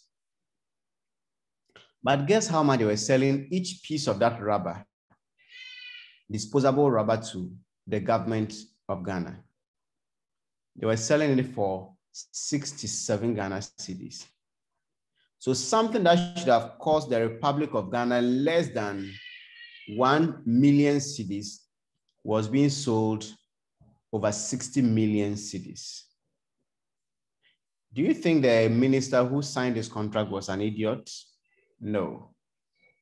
Sometimes some people have invested in these politics and they want to recoup their money. So as we build the young people and uh, try to teach them to grow with integrity, I think we should also begin to educate people to know about the cost of corruption to their lives. That when you pay that politician, when that politician pays you for your vote, He's not going to America to recoup that investment. That investment will be recouped here in Ghana. And that is going to hurt us. So education, living by example, and trying as much as possible to make uh, this a big issue in the educational institutions, right to the university level, will help us.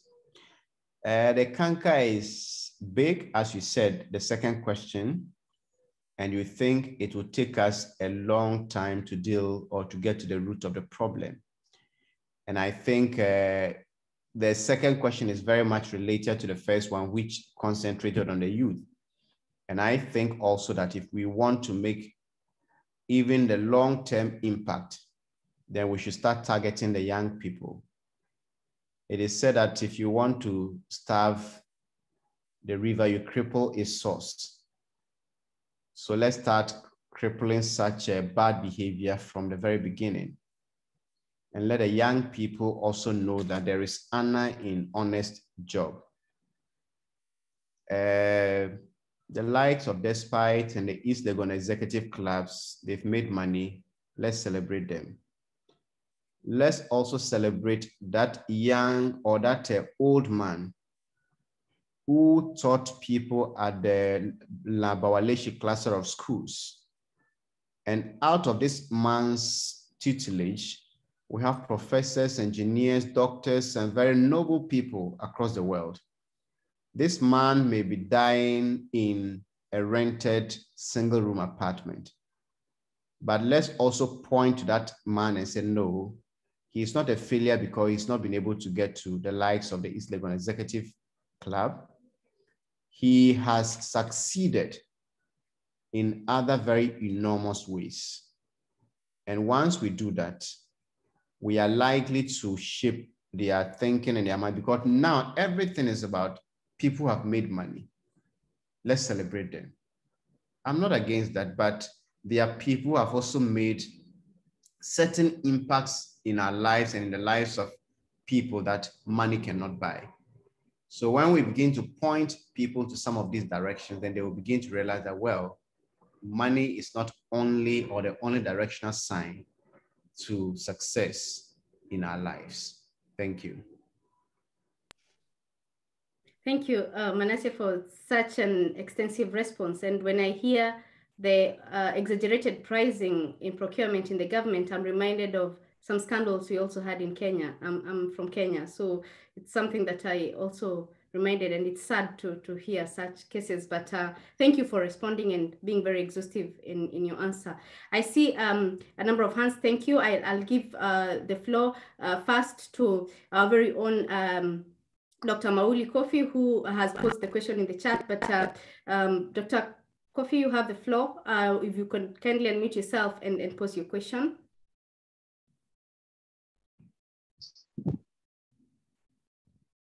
Yeah, thank you very much, um, Catherine. Uh, you are doing a brilliant job. Uh, I'm so inspired by your very excellent hosting and um, moderation.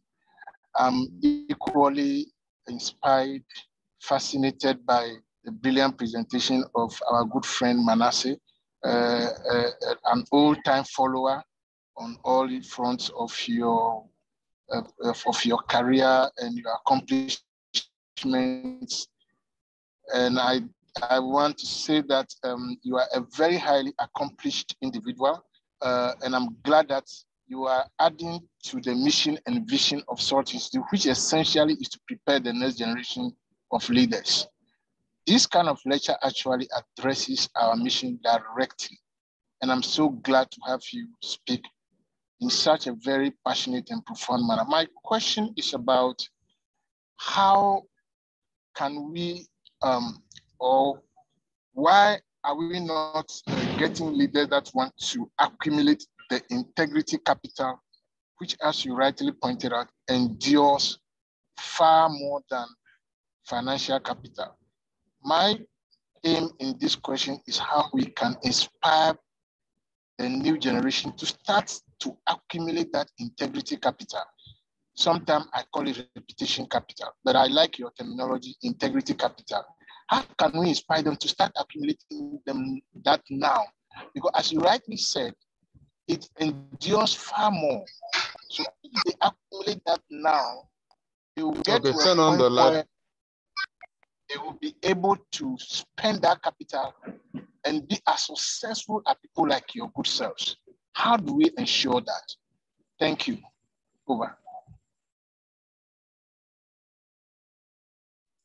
Thank you very much. Uh, apart from what I mentioned in my subsequent response to the previous question, and thank you so much for your kind words. I very much appreciate it. Apart from that, we should also begin to teach at all levels the reward for integrity. It isn't only doom and gloom if you want to serve with integrity. I say to the glory of God that since I started my investigative journalism career, I never took a cedi, a pesewa, a dollar from somebody to look away from wrongdoing. That doesn't mean I'm poor. This has given me the opportunity to go to a number of countries. I was in Kenya for transfer, uh, transparency, uh, financial transparency conflict, uh, sorry, seminar. As soon as I spoke there, certain organizers said they were doing another one in Indonesia. They liked how I spoke, so they invited me to Indonesia. I have been to the United States Department of State's uh, International Visitor Leadership Program. I've had a number of exposures. I have not applied for a job since I left school. I've rather rejected job offers. So I say to the glory of God that my life as a journalist has generally been uh, the, the, the, the, dangers and other things are there. But if you look at the other side, I don't think I'm poor because from a home that I hardly found where my next meal was coming from to where I have a decent place to live, I can feed myself and my family. I don't think I'm poor. So we should also begin to point out these things to people that look. Once you begin to live this way, it doesn't necessarily mean that you are going to suffer for the rest of your life. There are certain benefits. There are certain places that you go that people and their monies couldn't go. There was this Millennium Excellence Award at the Otumfuo Palace. I was called, and as protocol, when you step forward, you like bow to the president, the Otumfuo. My name was called Otumfuo, the president, and all the people who mattered in this country were all clapping for me. Money cannot buy this. I find it so honorable that SALT Institute, you want to talk about integrity, and I find favor I to be addressing you. Some of you, places you've gone, I've never been there. So if I have the opportunity to be interacting with you, I don't take it lightly. I see it as a great reward. There are people who have all the money in this world, but you not invite them for this seminar. So that is a reward that people should begin to know that look, in life, reward and satisfaction can be derived from a whole lot of places. The kind of respect your name evokes in the memory of people, in the minds of people, is as important as the amount of money you have. People say na integrity in your uh, for the young people, I'll say that look, the good thing is that when you build it over the years, this integrity capital, you may not be that uh, necessarily rich, but you you you will not lack. There are certain things I do, and I'm paid. Uh, go to take some jobs, and I get paid consultancies just because of what I've built over the years. I was returning from, uh, I went to Nyankpala, University of uh, the UDS to do something. I was coming back. So I put on Facebook that, well, Tamale, if you are around, you can meet me for an autographed copy of my book. And I have three books, Letters to My Future Wife, Voice of Conscience, and then the, the fourth John. At the time, I hadn't published the fourth John. So it was Letters to My Future Wife and then Voice of Conscience. And a certain man I hadn't met before in my life met me on my way to the airport and said, How much was a copy? And I said, A copy was uh, 50 cedis. So the two would cost 100 cedis. This man handed a thousand cedis to me. And what he said was, Look, you have no idea how some of us admire. We think you are fighting this fight for us and our future generations. So this is just to tell you how appreciative I am of your work. This may not be uh, a, a million dollar, but the words and the heart that goes with it is something you should appreciate. So I think uh, going forward, one of the other things we should be highlighting, the good examples. The churches if you're inviting somebody, you have harvest, you're inviting people. Who do you allow to sit uh, in the front pews? Is it the rich people who pay their tithes in bags or people with good character who can inspire the young people? So I believe we should begin to highlight persons with integrity as role models in society. And in addition to the others I talked about earlier, we may be making some modest gains. Otherwise, we will be doomed forever. Thank you. Thank you so much. And uh, with every answer you give, there's quite a lot uh, of weight that comes with it. Thank you for, for the response. And thank you, Dr. Kofi, um, for, for your kind comments. Uh, indeed, I'm keenly following uh, in your footsteps. And this is what is truly appreciated in SALT Institute, where we preach water and drink water, basically walking the talk. There are mentors in SALT Institute, not only from the faculty, but from guest speakers like tonight we have Manasseh. So it's truly an asset. And um, this is exactly what is required uh, urgently for, for the continent. So I would, uh, in the interest of time, uh, just allow the hands that have been raised uh, to, to take the floor. Please make your questions uh, brief, and then we can at least have the opportunity to hear the comments from Manasseh. Um, so for now, I will um, kindly request uh, Elzabad to please unmute yourself and, and pose your question.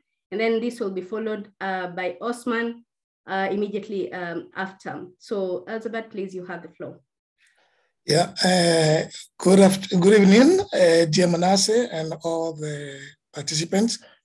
I'm calling for Pretoria. I really enjoy this lecture. Thank you very much. Thank you very much. I've got two questions. The first one is, somebody says, behind every behavior, there is a belief system. According to your observation, how does the prosperity gospel affect integrity in Africa? That's the first one. The second one is closely related to the first one.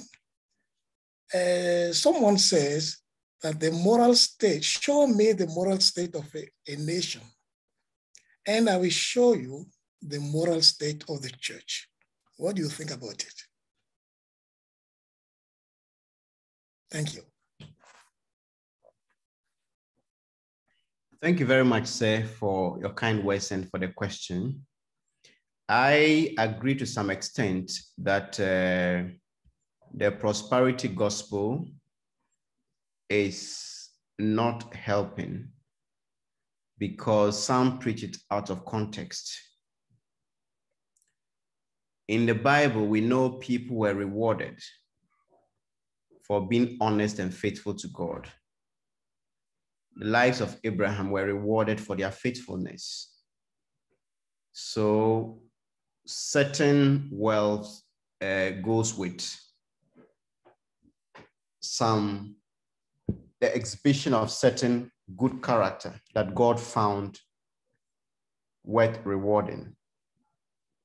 These days, what they take out, and then most preachers do that, they take out the process and they project the end.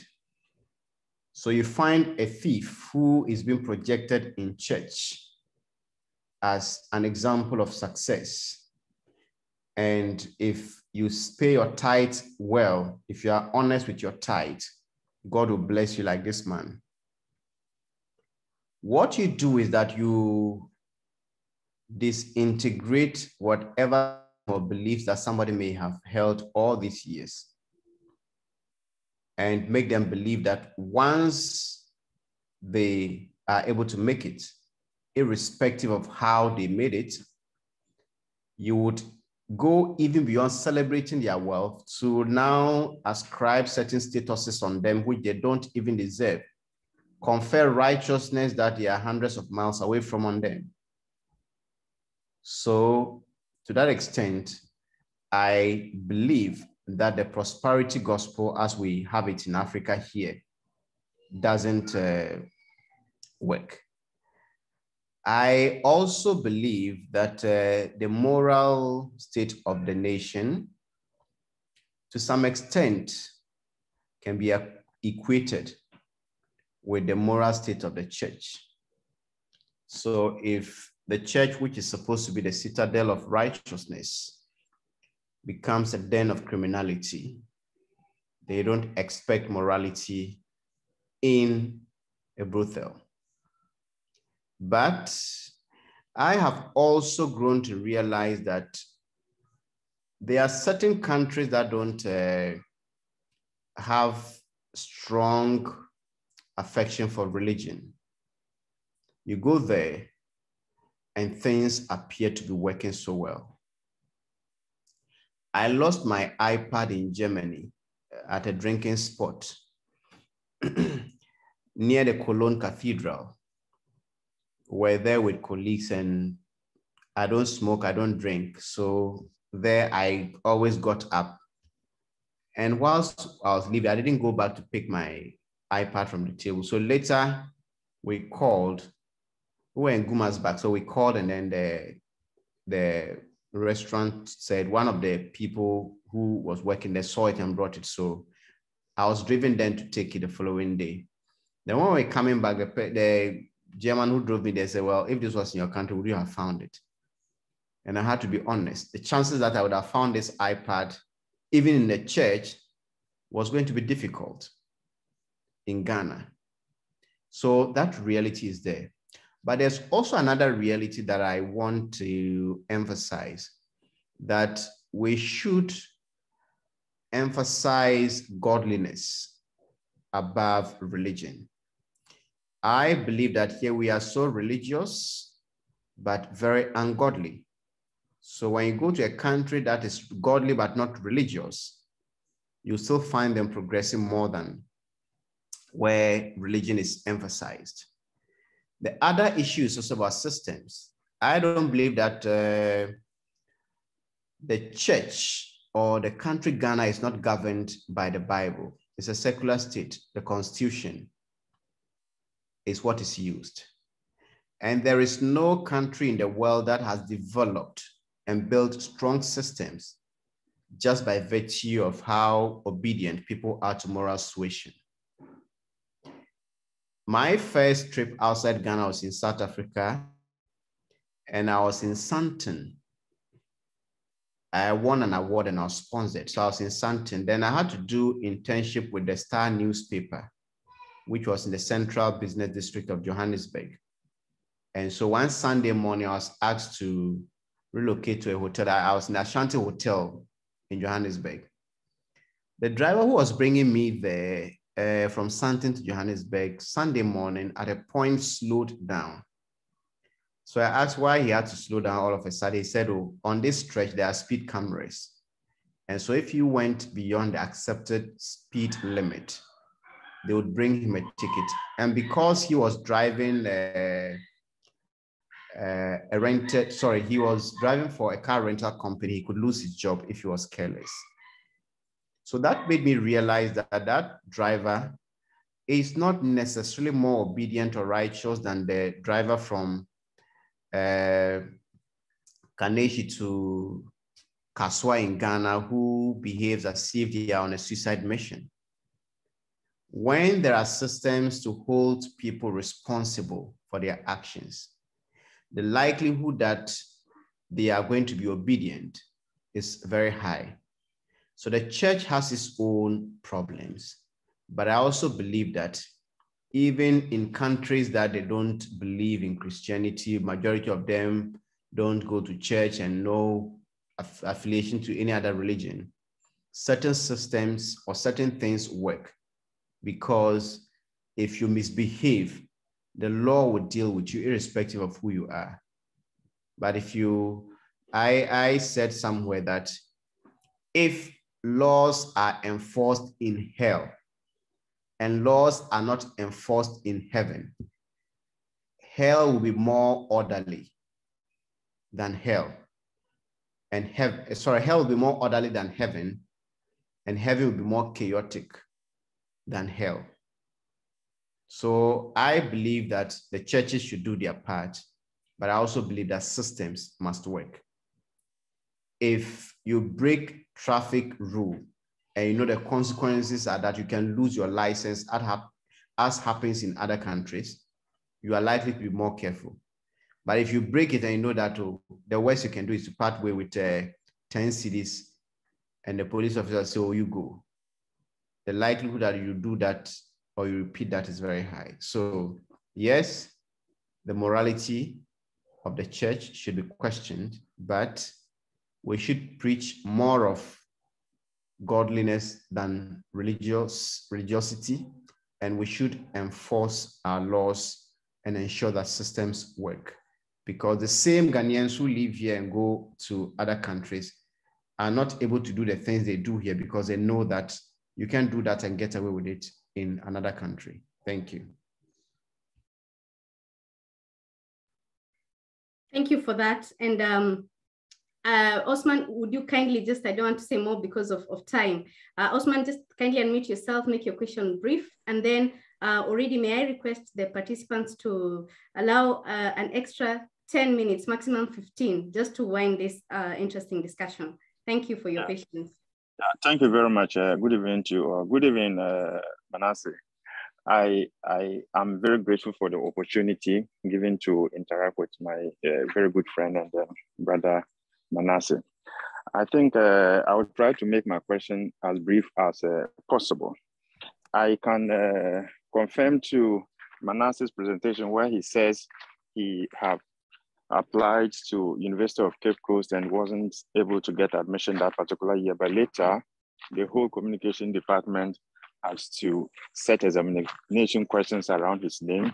And today the students are still eulogizing him and praising him for the good works that he has done. Some are even craving to have a one-on-one interaction with him anytime soon. But my question now is uh, straightforward. Uh, Manasseh, how are you always able to swim against the tide? I remember I, I have called you on two occasions to draw your attention to some media publications either documentaries or commentaries that were going against you. Sometimes it was always Manasseh against the entire nation. Yet you are always sometimes to maintain a very positive balance.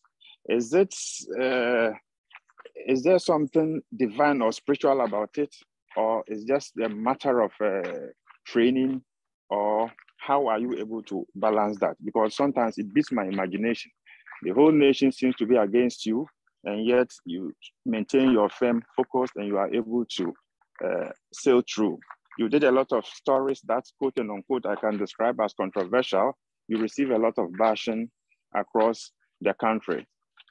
You know, any other person who is not so strong can break down and even leave the profession. How are you able to maintain the balance of that integrity or build on the integrity capital, if I can borrow your word again? Thank you very much. Thank you. I must say it hasn't been easy. It is a sacrifice. And uh, yeah, people think Manasseh is fearless. That isn't true. I often say that I'm not suicidal. I would want to live as long as God wants me to live. So I am not that fearless, but it is about um, deciding to take a risk and taking that risk in the general interest of the people. I come from a very poor background. So when I see people who are being cheated, I feel it for them and what their children are likely to go through. Some of the things I feel the pain and the need for justice that drives me.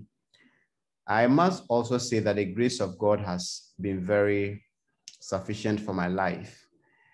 Uh, I'm human, I don't have a thick skin. My skin is just like any other person. But it is just a decision to endure what others would not endure for the very reasons you are citing. Because sometimes you do something. For instance, this story I did about the, the, the waste bin that was awarded to the Zoomlion group of companies it resulted in the cancellation of a $74 million contract. At the time, the conversion was around 330 million Ghana cedis. The nation saved this amount of money. No pesewa came to Manasseh. But I had a lot of backlash. And the Ghana Journalists Association released a press statement to condemn me over that. But there was absolutely nothing wrong with the work. They couldn't say that you breached this code or you breached that code. But everybody was loud against Manasseh.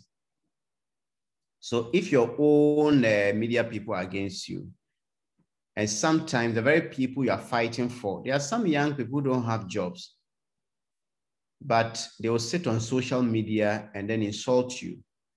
If I wanted to make money, I'll shut up and then uh, live a better life.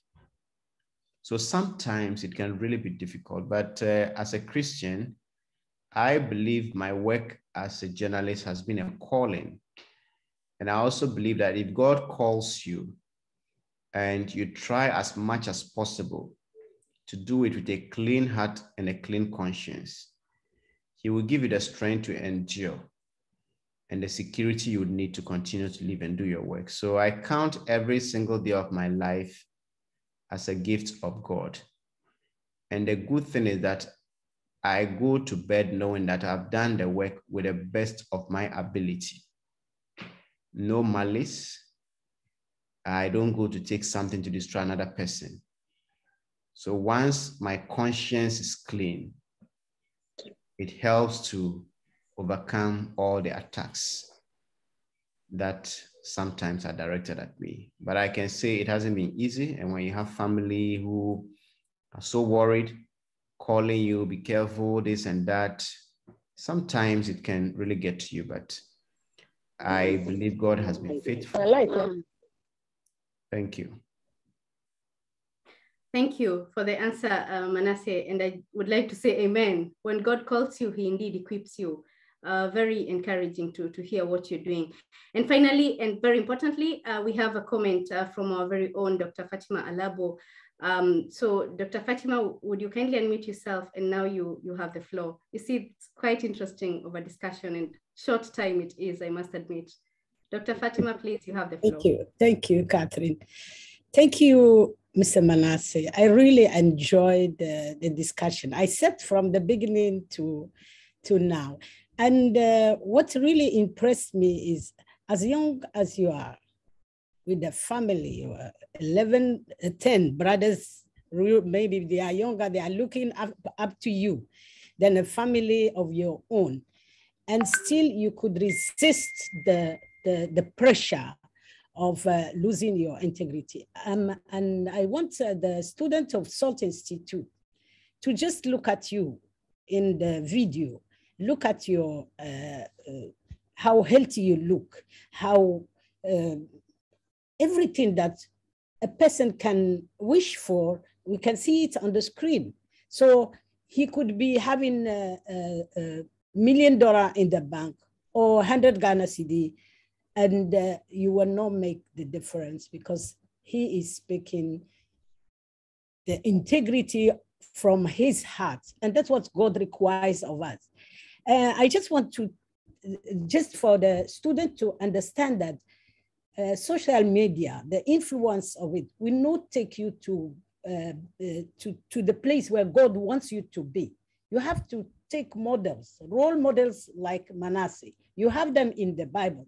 And uh, one of the negative one I say, and I always think that Africa suffers from uh, what we are suffering from. I'm from uh, originally from Morocco, so I'm, uh, I'm, as African as you are. So we uh, we suffer because the foundations are wrong. The Bible says what the righteous can do if the foundations are wrong, are faulty. Our foundations are faulty. The, we got the independence, the, the colonial power never left. And that's where the corruption of our leaders started. When you don't take co corruption, they will kill you. We have seen it from Africa, those his, uh, history students, you will hear how the uh, uh, first of all, our Nkrumah, was uh, assassinated. So you see that um, either you be the one that will stand like Manasseh, you will be like Rehoboam in uh, First King 12:7, when the people, when he was uh, elected the king, the people came to him and asked him, please, your father was very hard on us. Please let the yoke be um, like lighter.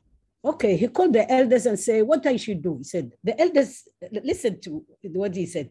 Your father put a heavy yoke on us, but now lighten the harsh labor and the heavy yoke you put on us, and we will serve you. He is the king. Then he, we will serve you if you do that. And Rehoboam answered, go away three days and come back. So he went, I'm going faster. So Rehoboam, the king, went and consulted the elders, the old people. The old people told him, the older people told him, if today you will be a servant to these people and serve them and give them a favorable answer, they will all be, they will always be your servants. Now, the situation in our continent, the majority of African countries have turned down. Like uh, Mr. Manasseh said, when you, you struggle to get the power through corruption, through everything, buying shares, buying uh, seats, buying anything, you go to power, then people who voted for you now become your servants. Not because you are serving them, but because you have uh, the foundation on which you are sitting are wrong. So I think that uh, as a SALT Institute, the student should look deep into the, the, the heart. And uh, religion has never helped nobody. But the relationship with God, the true relationship with God and with Jesus Christ, the Holy Spirit, in that manner where you fear God, that's what will bring the true leadership. Once you fear God, you see him always on your head. He's sitting there, you sit with him in the chair, you drive with him, you eat with him. So you cannot take corruption when God is there. So you cannot talk to somebody anyhow when between you, Christ is seated. So what I had today make me have more hope. I always follow Manasseh on the news, what he's saying, but today, saying his story from the deepest of his heart, I will be just happy to, to have this young man uh, giving us from time to time a lecture to the young people instead of them going to social media, wasting precious time comparing the, all the things. God bless you, Manasseh. I'm so proud of you, my son. I'm proud of you. God bless you. Thank you very much. I'm very grateful. God bless you for the kind words of encouragement. Thank you so much, uh, Manasseh. You've touched not only Ghana, but uh, north, south, east, and west of, of Africa and beyond. I believe there are people connecting from the, uh, out of the continent. So it has been very insightful. And for that, I would I see some questions still coming up. So please, for the participants, in case you have questions, direct those to the SALT Institute. And uh, Manasseh, allow us to, both of you, uh, a little more with some questions from the students and hear your opinion on this very important topic. Uh, because I believe, and as you can see, the discussion cannot stop it cannot end it is it will continue and so um, kindly once again the participants feel free to pose your questions directly to the SALT Institute and um, we will um, make an effort to make sure that um, we get the opinion or the comments from uh, Manasseh. And um, now finally, just to wind this up, um, I would like to uh, invite one of the students, Dora, uh, to join uh, Hedwig, Estelle, Obed, and all the participants who have shared uh, their uh, congratulations and uh, actually comments of appreciation in the chat to just give a vote of thanks for the session that we've had together. So please, Dora, would you kindly unmute yourself and give the vote of thanks? And then afterwards, let's have Obed to close us with a word of prayer. Dora, you uh, thank, thank you, Catherine. Uh, distinguished guest speaker, my name is Dora Fiagbenu, a student in international relations and diplomacy at the SALT Institute, Cohort 3. I am privileged to take the floor on the behalf of the board of SALT Institute, on behalf of the entire family, entire faculty of SALT Institute, on behalf of the student of SALT Institute, and on behalf of the entire family of SALT Institute, to propose to you, Mr. Azure, Manasseh, a vote of thanks. You spared time out of your busy schedule to grace today's guest seminar with your most appreciated contribution. This evening, we had an opportunity to hear you, Mr. Manasseh, to hear your thoughts mm-hmm. on the topic, the quest for transformational leadership, managing the conflict between integrity and money. And this will surely serve us, serve as an encouragement to all of us in our day in, day out. Indeed, Mr. Manasseh, your life is a life testimony of the topic under discussion. Your delivery has enlightened and shown us a new path in leadership and especially money management in leadership. Mr. Manasseh Azure Awuni, may the Almighty God bless and replenish you for blessing us with this profound and insightful nuggets on leadership. Once again, thank you so much. Thank you very much. Catherine. Yes, thank you so much, Dora, for that. And now uh, I, I don't want to add anymore. I just want to as to close with a word of prayer, but to just say thank you once again, Manasseh, and thank you to all of you who have patiently extended for an extra 20 minutes. I promised 15, but we've extended even beyond. Thank you so much. So Obed, kindly, would you uh, close us with a word of prayer?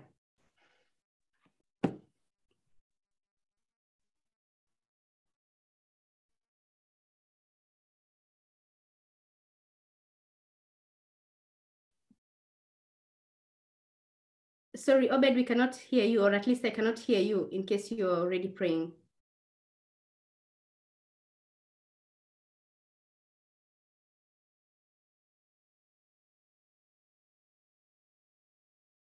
Can can anybody hear Obed or it's only me?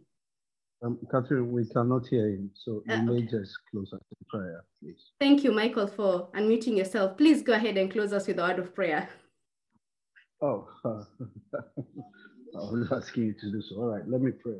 Lord, we are grateful. Thank you for such a very thought-provoking um, seminar, and uh, we're very grateful for Manasseh's life.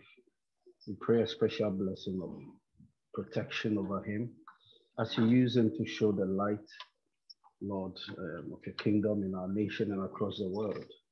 We ask that you preserve the likes of him.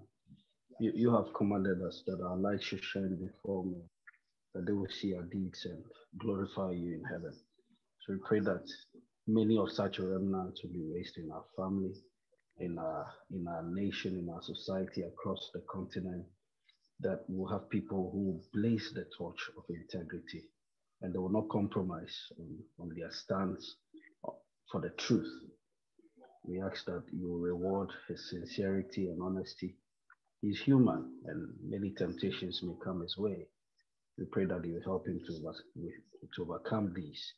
And we pray that, Lord, the values of integrity which he, he has so clearly demonstrated over the, over the last couple of years. In Jesus' name. You will place this in our students that um, each and every one of them, Lord, will become salt to their generation as they leave the institute. Thank you. In Jesus' name. Amen. Amen. It was Amen. double prayer. Amen. Amen. Thank you so much. anointing Tonight. Ah. Amen. Thank you. Until next time, remain blessed and uh, shalom. Thank you, Catherine. Thank you, everyone. Thank you. Thank you, Kat- Catherine.